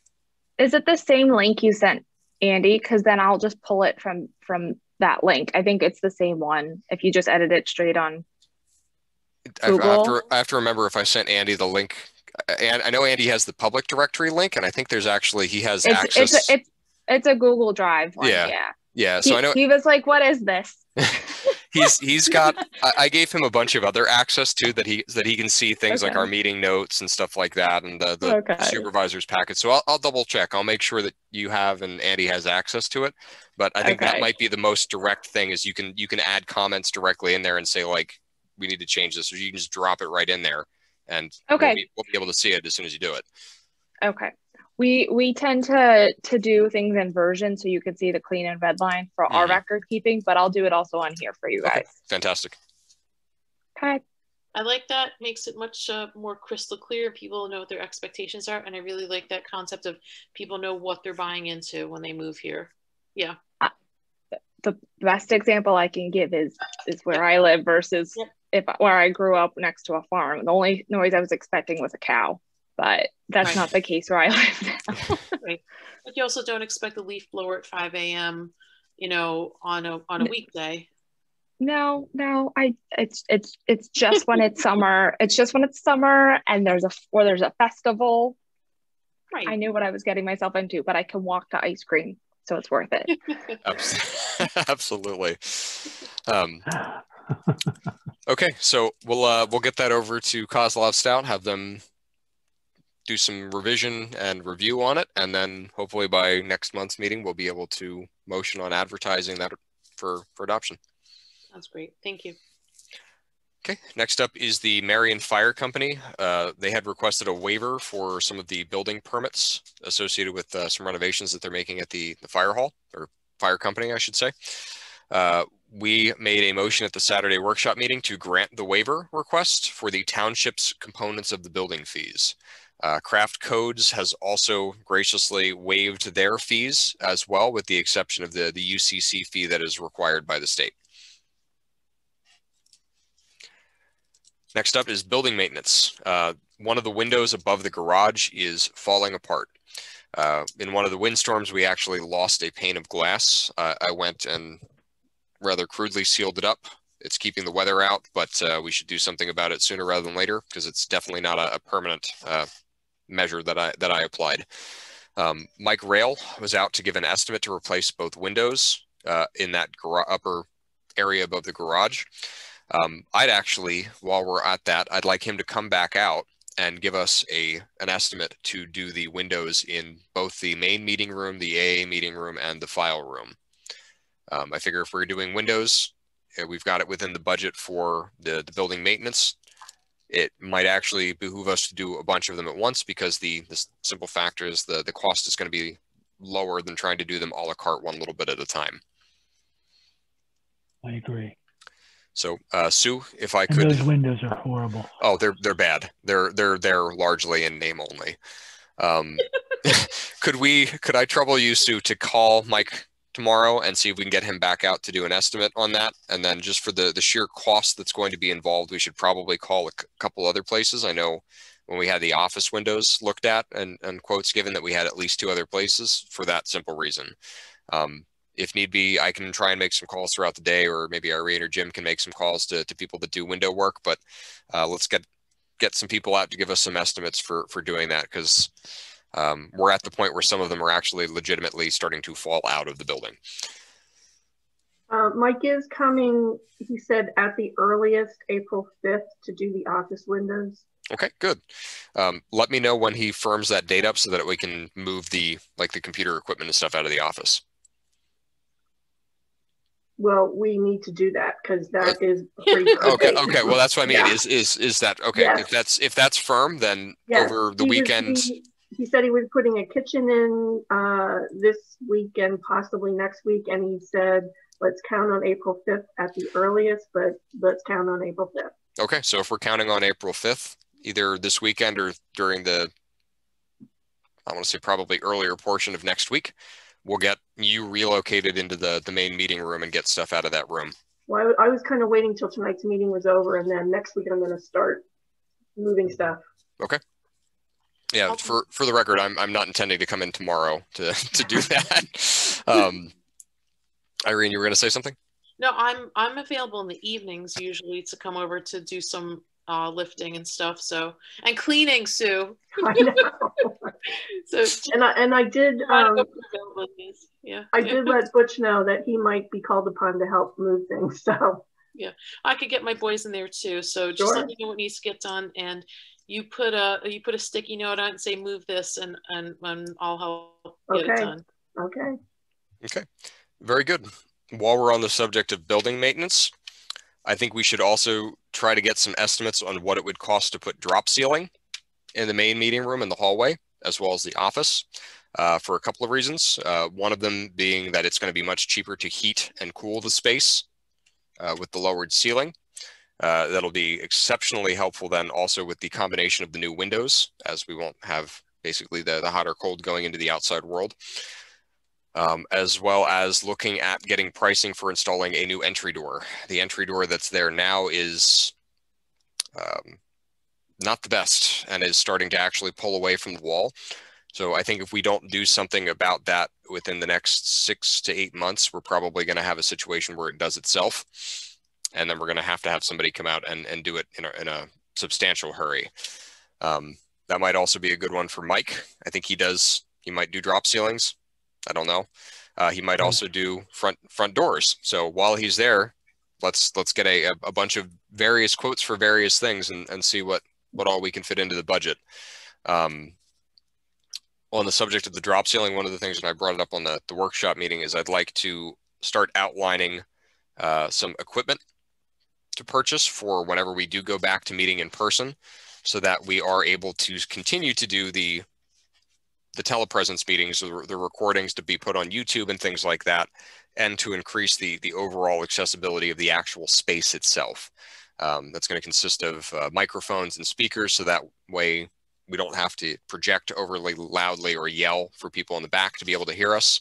Uh, we can have a conversation at a, at a pleasant volume and have everybody in the room hear it comfortably.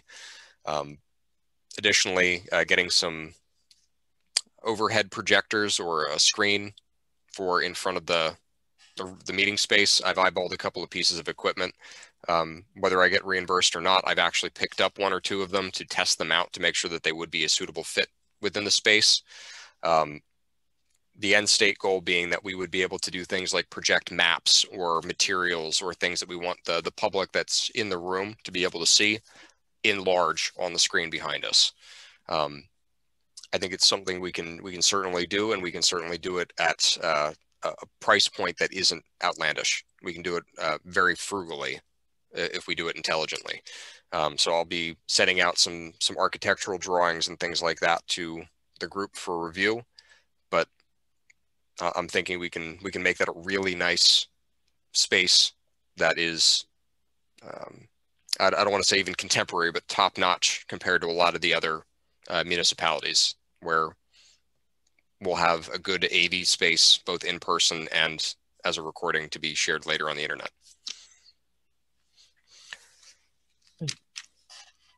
Next up is the PSATS Virtual Conference Workshop Pass. Uh, PSATS canceled their convention, but will be offering the workshops virtually. The cost is $99. We made a motion at the Saturday workshop meeting to allow Sue to attend these. Uh, so, Sue, you'll have to let us know how they are. I will. Okay. Next is uh, we received a complaint uh, about Stouchsburg Road and Catterman Hill Road. Uh, the complaint was around uh, concerns around accidents, the frequency in which there are oftentimes near misses, as well as speeding. Um, there was a little bit of a, an email conversation that circulated between uh, some of us and Jim McCarthy, and uh, ultimately one of the one of the asks was about, about putting stop signs in. I don't think we're going to be able to meet the warrants required for stop signs there. Like there's there's no visual obstruction other than the one direction where there's the residential property. So we're not we're not going to have a, a good amount of traction there. The other aspect is stop signs generally are not speed control. There are places where stop signs might have a, a beneficial impact for that, but they're not principally used for that. Um, so the the little bit of conversation that ensued after that was about potentially putting in uh, like caution intersection uh, upcoming signs or uh, caution pedestrian signs. Um, that might also be uh, while we are on the subject and we rewind a little bit, that might be a good one to paint crosswalks on as well so that you visually as you approach the the roadway you know that people could be crossing. Um, jim irene i know you were carbon copied on a lot of that. Um, what are your thoughts about putting some like intersection ahead pedestrian crossing signs and then supplementary uh, putting in the the crosswalks at that intersection? Definitely. Definitely. Anything that's going to of give people the visual and know that there's a, a troublesome intersection ahead I agree. We might also want to ask the police department if they can put some kind of a, uh, don't know what, what you would call it, but those ones that they measure your speed based on how fast you cross over the little tubes. The, uh, tubes, yeah. And yeah. Uh, hand, hand out a few tickets. That'll get some attention. I'll have to see if the Tulpehocken police is able to speed trap like that. I drove out there and it is, I can see where there's a problem for the school bus drivers, especially. Oh. Yeah. And one of the concerns they had was the there's small children that have to walk that way and have to right. cross that road. So if you have somebody who's not paying attention to speeding, it's we're, we're fortunate that we've not had an issue and I'd prefer we if if we know about it, let's take some steps to avoid mm-hmm. having it become an issue. Okay, so I'll, I'll, add that to my list. Um, Jim McCarthy, or do we need do we need a, uh, any sort of like motion or anything like that to authorize you to uh, just I, I, don't know, just for the sake of of good good practice and good form, I'll make a motion to authorize Jim McCarthy to uh, draw up proper placement of signage for that intersection at uh, Stouchsburg Road and Catterman Hill Road. Second. Second. Roll call, Peter. Aye. Irene. Aye. Jim. Aye. Okay.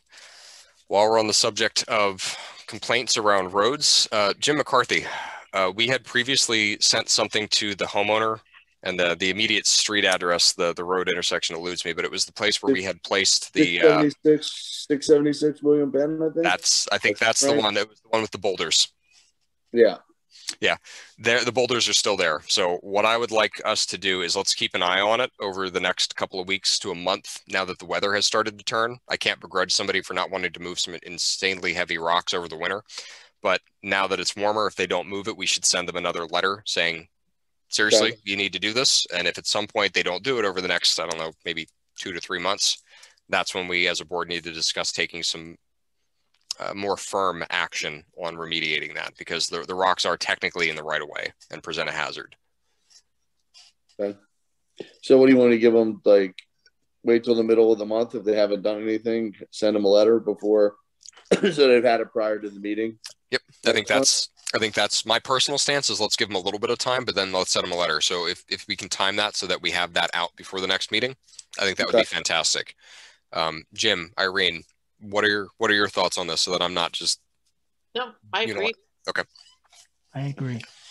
Maybe I'll send them a letter on like April 10th saying you haven't moved the boulders. We need a move prior to, and I'll have the date prior to your the day prior to your board meeting.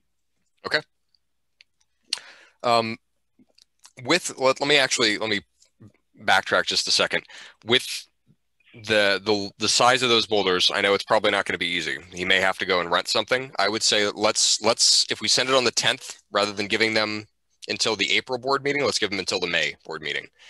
Okay. Just just just to be fair, because I know if I had giant boulders on that, if I was given like 12 days, I'd be like, oh man, I'm not going to be able to do this. Okay. um, so just as a polite approach, let's give them the fair chance to to do it before we we take the gloves off. Would you like it to be a nice letter or have a little teeth to it? I'd like it to be polite but firm. I have the utmost faith in you being able to to execute on white glove with a brick inside. Gotcha. We can do that. Okay, excellent. Uh, last item on the agenda, if we don't have any fur- further on that point, is the Act 537. Uh, we had previously received a letter from the DEP in response to our memo that was uh, not exactly what we were expecting or hoping for. No. Uh, but with that said, we do kind of have a path forward where we think we can still get traction under what we consider to be common sense. Uh, so the next step would be to perform the income study, which would lend credence to our concerns around uh, fundability and affordability, um, and to get the letter out to the property owners about the pump out schedule. Um, it is on my list of things to do to call Alan Madera. I, I'll take full ownership and, and responsibility for that one. I have had no chance prior than like nine o'clock at night to make phone calls outside of work. And I don't think Alan wants to talk to me at 9 p.m. about the the on lot letters. So Probably yeah.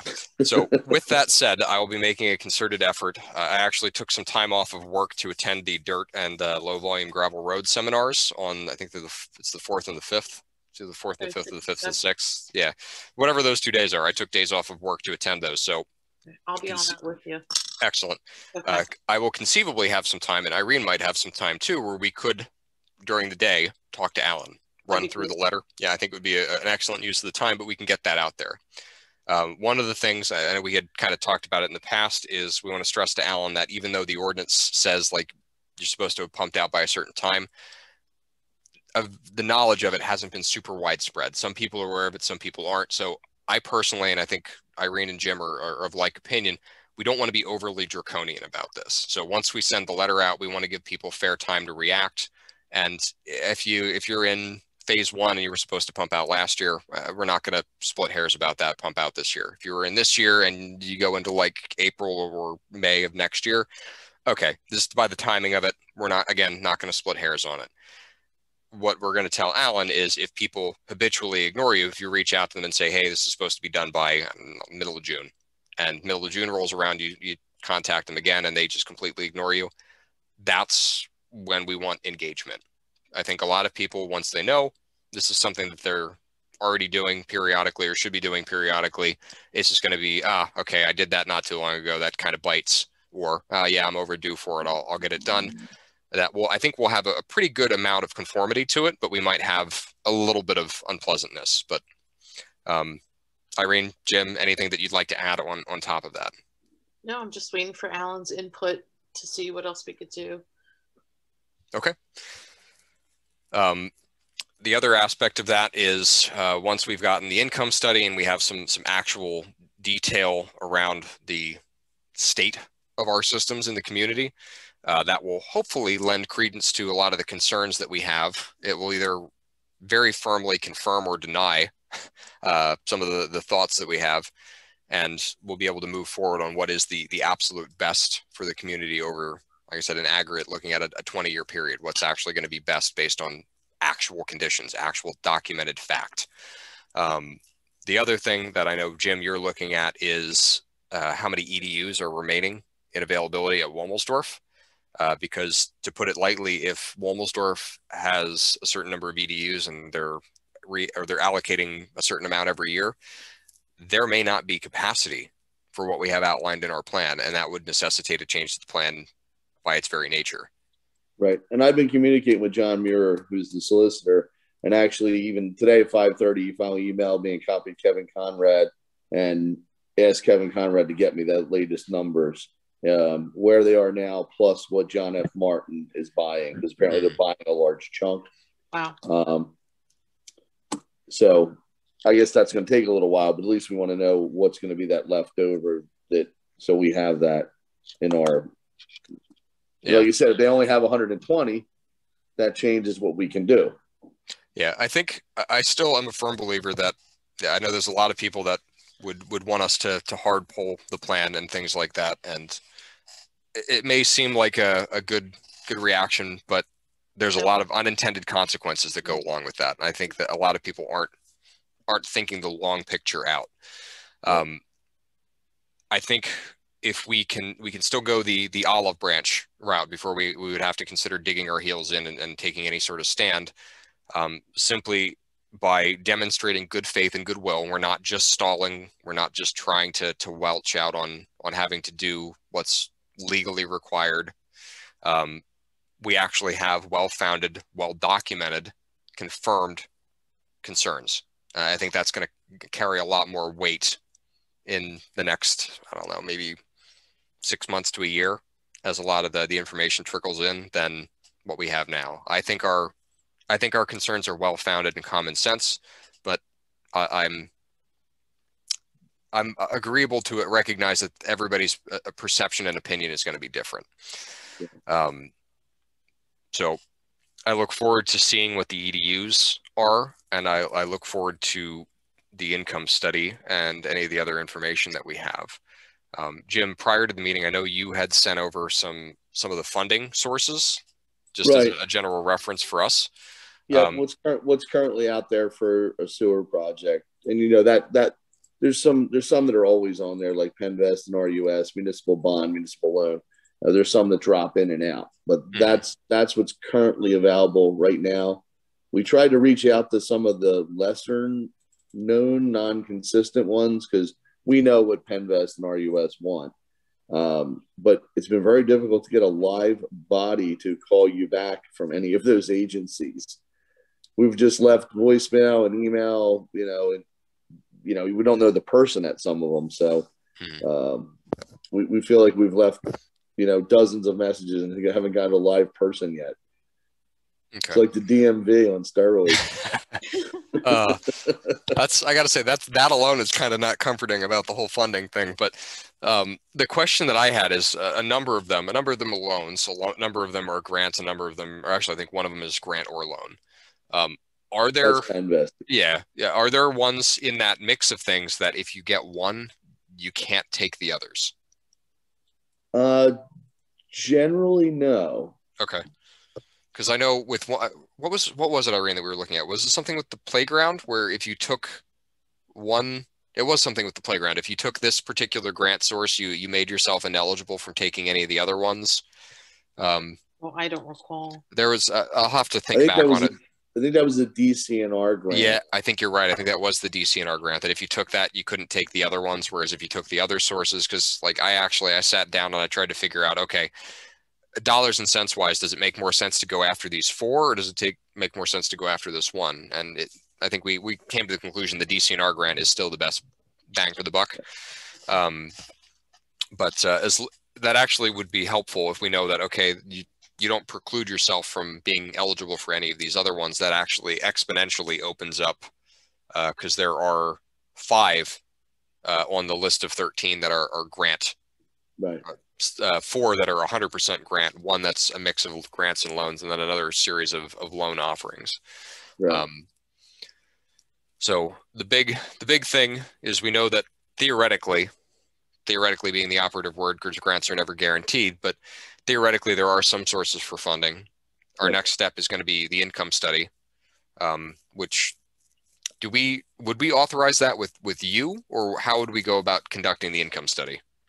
Uh, what you would normally want to do is start contacting one of the agencies, and I think you know probably the one to start with is PENNVEST because their income study criteria everyone else takes. So if you were to start the process with PENNVEST and potentially, you know, they say, you know, they get the income study and say we're going to give you X grant, X loan. Now you have the now you have the income study to potentially then go apply for those other grants to try and close that gap and get additional grant money. Okay. Uh, so, but you so, want to, you'd have to have like a yeah, basically like a pre app. Well, we used to have a pre application meeting with them. I guess it'll now be a pre application Zoom, but nothing, nothing wrong with that. Um, better than okay. Skype. yeah, yeah, yeah. It's definitely better than Skype. I think smoke signals are better than Skype, but yeah. Um. Uh. Okay, so it sounds like we, what we'd want to do in order to get that income study information for whatever we use it for, one one direction or the other, is going to be PENNVEST. We're going to want to strike up dialogue with PENNVEST. Right, and that that'll be the first thing they'll tell you. You know, they'll say generally, "What's the dollar figure project?" and then we need to get your income study. And the income studies are only good for two years, so you know we won't. But I think by our timeline, we probably have. If I remember right, we had 30 months of funding securing, and we're probably what about a year into that. So we got about a year and a half for that. I yeah, I want to say because that was one of the things that I I had of the many things that I asked for. That was one of the few things that found traction with the other right. board members at the time was extending the funding period out. Yeah, um, I think we stretched it out to like month forty-two. I want to. I want to actually say like I want to say it was something a little longer than that. I'll have to look. Um, okay.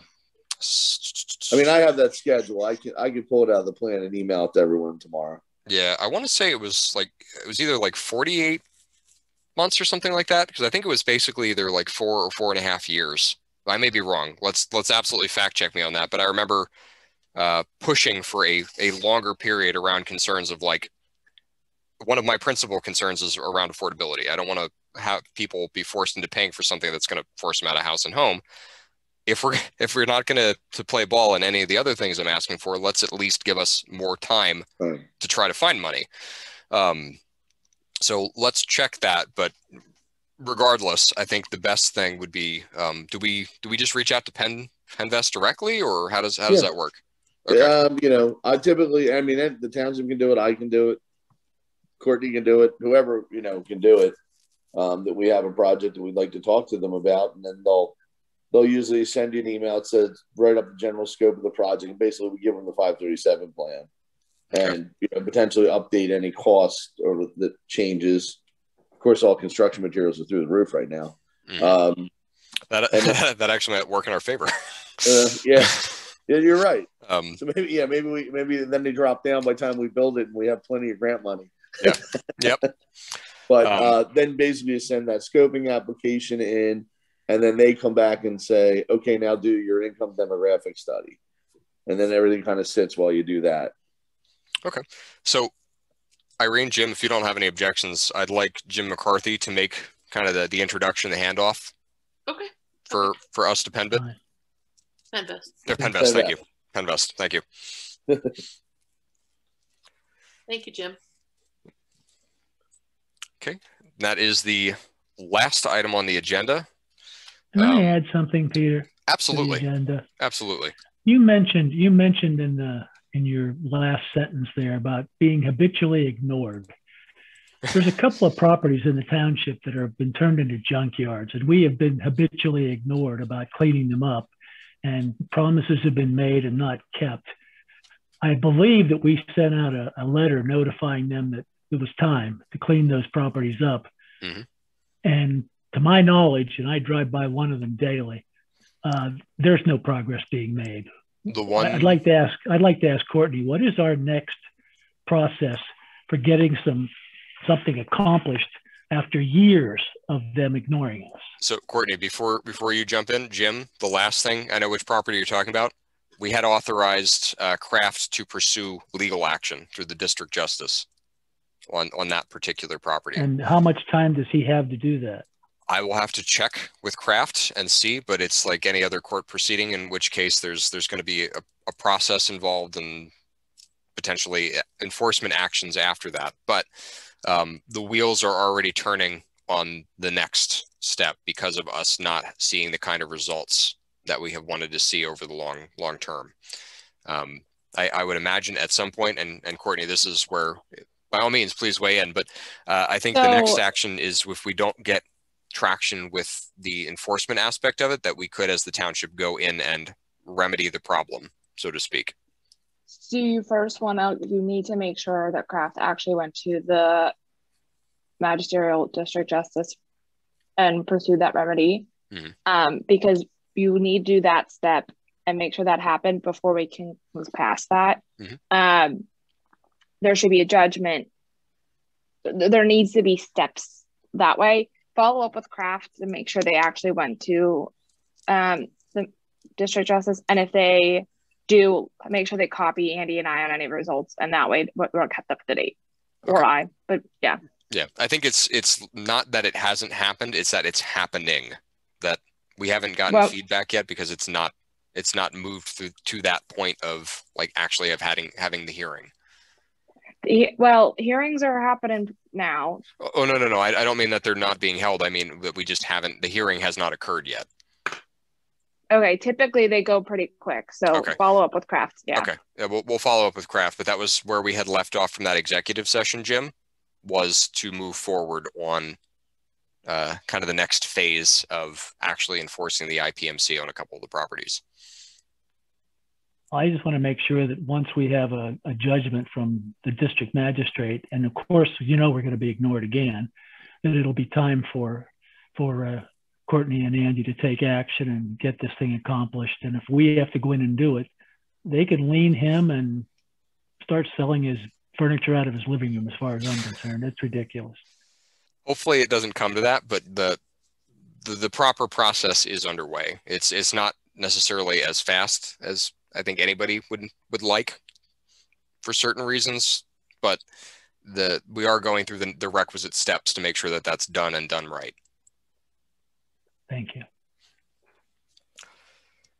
Okay. Moving into the supervisor's comments, uh, the only item that I have that we have not previously discussed is the police report. Uh, looks like it was a relatively quiet month. Um, we had a 21 EMS fire advisories, which is a little higher than normal, 58 security checks, which is right about where it is, nine police assists, three motorists assists, two court appearances, and uh, we actually had a, a, slightly higher than normal amount of traffic accidents for the month. There were a total of seven traffic accidents that were filed. Um, other than that, everything else is is pretty much business as usual for the the Tulpehocken Police Department. Uh, Irene, do you have any comments? Um, I was curious if anyone else had the opportunity to take a look at the American Rescue Plan funding for townships. I know Sue um, put it up there and it's in uh, Google Drive as well. Is anyone else taking a look at it? Was that the the chirp one, or was that oh that's no, the the COVID nineteen no. fact sheet? The okay yeah. Mm-hmm. Um, I skimmed it. I did not get a chance to read it through in its entirety. There's there's not much there. Um, PSATS website um, also gives us information as to how much funding we're going to be getting for the township. I know, I think we briefly meant, touched on it maybe at the workshop meeting. Um, it looks like half the funding will be coming in in June and the other half will be coming in June 2022. Uh, what's interesting is it's very brief. Um, there's going to be more direction as to what can be done with the funding. Um, we cannot use it for roads and it cannot be used for bridges. Um, it looks as if we're able to do things related to infrastructure as long as it is to the betterment of the community with respect to any changes we wish to make, um, how we were impacted with COVID-19. So there's more guidelines from reading that particular fact sheet and going through the slides of the presentation that was made because I didn't have a chance to listen to the um, um, audio. I think Sue, you had listened in on that Zoom I, I listened to yeah um, the first one yesterday and I actually stayed today and listened to the second one just to see if there were different questions asked. And um, I mean, they're both like an over an hour long, but they're they're pretty helpful. Um, basically, they said use your imagination. If you can relate it to COVID in any way, uh, it's probably going to be on there. PSATS is waiting for direction from the Treasury. The Treasury is going to hand down regulations and hopefully spell out a little clearer what money can and can't not be used for. So I guess, I mean, for me, this kind of goes back to part of the wish list of restructuring the office and really considering the entryway. And so that if there's a vestibule or something, so that this isn't going to be the last pandemic we're going to encounter. Hopefully, it might be another hundred year gap before this happens. I don't know if the building will be standing then, but but using you know kind of having the foresight to create an entryway so that there is some separation from the public from Sue sitting in the office because right now there's nothing. It's it's a it's a Dutch door, um, something that will create a safer entry point for Sue from safety perspective as well as like a health concern so that we could restructure the office so that people could enter in and, and use the space a bit more efficiently. I know we had talked about that. So, I mean, that that's one thing, again, I want to throw it out there. We could, I know we've tossed around that conversation, but here we're going to get funds dumped into our lap basically so that we could do that. Um, and, and that's something I, I think we could consider. It, it's nice bit of a chunk that, that we didn't think we'd get and it's 190,000 and a little bit more in change. If we're getting half of that, I mean, that's that's really a, a, nice amount that we could do. If the funds aren't used, um, they, they have to be used by 2024. I don't see that as a problem, uh, but I think there's going to be some prohibitions that we really don't have to worry about. And again, um, the biggest thing is to, they can't be used for roads and they can't be used for bridges. Right. But if there's something that we could think that is COVID related, that's going to improve basically, I think our health, safety, and welfare, mm-hmm. as well as improving um, stuff for the public. So I know Peter, you had uh, pitched the AV equipment. Mm-hmm. Again, I think that might be something that might be covered because it's going to allow better public access. We're going to be able mm-hmm. to continue our Zoom conversations. It's going to improve just overall uh, better communications with the public in general. I think all this kind of stems out of COVID. So I think you're right. They, some of the questions that were asked um, for both sessions was about audiovisual equipment. And they said, if you have changed the way you've done your meetings, absolutely you can you can mark those costs as COVID related and spend that money on that on audiovisual stuff. That's um, fantastic news, actually, because mm-hmm. that that's actually going to be a, a, huge benefit for a lot of the stuff that I was hoping to do anyway, as as a mm-hmm. kind of a betterment but exercise post COVID. People have asked people ask the questions. You know, we bought a bunch of laptops so our people can work at home. Can we? Um, you know, is that a cost that we can use that money for? And they said absolutely, because anything COVID related, and they they ended up saying pretty much use your imagination. um, if it's in any way COVID related, you know, that, but they did say, they didn't make it a point over and over to say, make sure you do proper accounting for it because you're going to have to report back to the state how you spent this money. Yep. So I think that would be a situation where we'd want to set up maybe a separate code of accounts specifically well, they, for PSATS, that. PSATS is actually trying to partner with. I I understood it as some kind of accounting software to just track your spending for this money. Okay. They, they don't have the bugs worked out for that yet, but that was the gist of what I got out of it. Yeah. Okay. Even even internally, it might not be a bad idea to set up another code, and then, like for example, if we have like the AV equipment, the office renovations, that we have that sep- separately tracked under one main code of accounts Yep, and it's easy enough to create a, a, line in the memo over what it is specifically. Mm-hmm. I mean, you know, you had mentioned earlier about the door to the entry. So now if we're we're considering a reconfigure over how the building is used, we want to have things so that it's safer for the public to come in, as well as safer for staff to be in there, so that there's better air movement. There's just it's just a, a safety concern that that you know thank God that you are competent and we were able to set up these Zoom conferences the way we did. Otherwise, we'd be on on phone calls constantly. Mm-hmm. You know, I mean, this is it, it's so much more interactive when we see each other's faces. You know, it, it feels a little bit better than because we're all so distanced from each other. But especially, you know, for you, for well for me you know still being a fairly new board member and jim being a new board member it was it was very disruptive but you know, again, it's just, you know, I'm, I'm happy to see that the information that's on PSATS website, you know, you click onto it, it's very, very brief. Um, it's very easy to read through. I'm still waiting for more guidelines and I'm looking forward to, to tracking the information and, and doing what we could do best to, to get that. And I guess if the money's coming in June, it, it, it's starting to get some contractors in, come take a look and, and kind of see what we want to do. I, I need some ideas. I think everyone needs to throw, you know, pitch some ideas what we can do. Okay. I've got some, I've got some pretty large ideas. I still like the idea of converting the garage area over to office space. Yep. Because we've got plenty, plenty of space back there where that the, the entry door for the road crew could become the new office front door and I still think we should replace the the side door, the current main entry door, uh, and that and that could be essentially kind of a, a side entrance for getting into the the meeting space on meeting nights, and the, what is the current office could potentially become like the the supervisor and uh, treasurer office space. Not that we want to necessarily move you away from Sue. I'm sure the, oh, the, com- no. the, the, company's no. appreciated. Um, yeah. But there could be a dedicated space where we have some stuff specifically set up so that our clutter doesn't necessarily disturb Sue. I don't um, have any clutter. I, I have the clutter. I do. Um, clutter for you. I but, uh, desk. yep.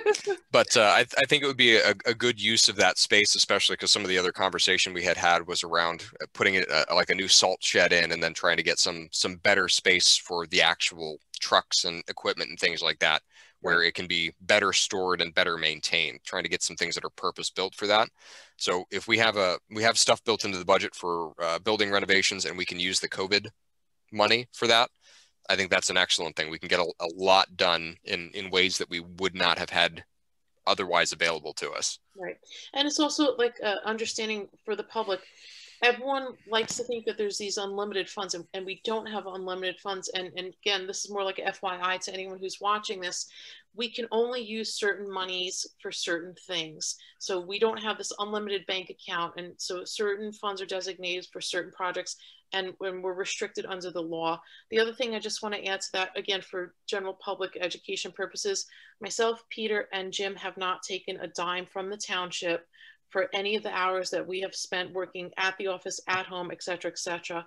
And if, if you want to give a rough estimate, I think we've saved the township at least 15 to $20,000 by not taking any money within the past year, oh, year and a half that, that, or so, you know, that we've all been on the board. So, you know, over, over my, my lifetime of being on the board, you know, total years, it's a considerable amount of money. If you think about it, I mean, if you, if you want to say an average of $5,000 a piece, $15,000 for six years, that is $90,000 that we are not taking from the township that we are essentially giving back to the public because we are not charging the township for our services that we are legally entitled to do so. So just want to throw that out there to the public so that they're aware of that.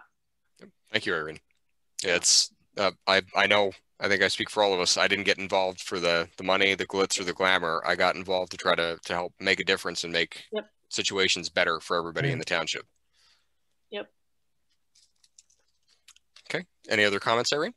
No, no. I, I know you had mentioned earlier. I, I want to see the playground get done. I wanna, I wanna put all my efforts in towards it. I'm hoping this summer Jim and I can uh, get some people um, out there, get some estimates, and and work with the township association, and and get that ball really rolling and seeing oh, good progress there. I I want the kids to come back. You know, I, I know I took my kids a lot to the park when they were really little, and uh, you know, it's something that I enjoyed as a mom and, and being out in the fresh air. So that's something I really want to focus on.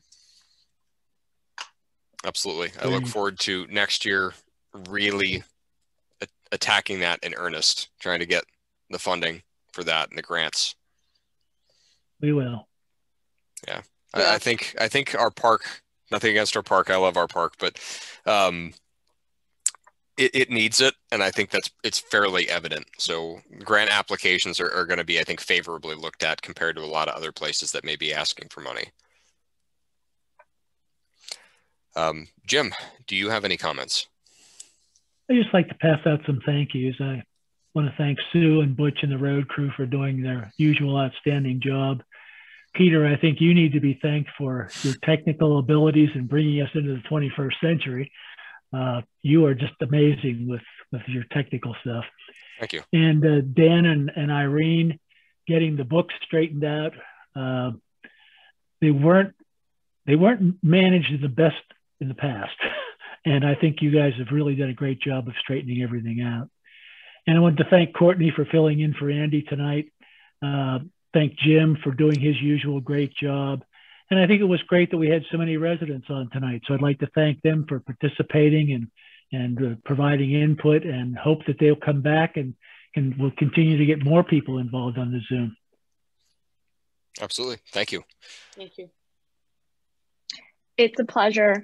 I'll happily come back. It's, you it's, guys need me. It's been great so far, so we'd be happy to have you back again. Uh, do you do you have any you're, comments? You're a lot quieter than Andy. It's a lot better to look at Andy too. Jim. the hair, hair. Oh my goodness. Uh yeah, we usually joke at other meetings that I, my head is warmer than Andy's. Um, Definitely. So that's the, that's usually the joke.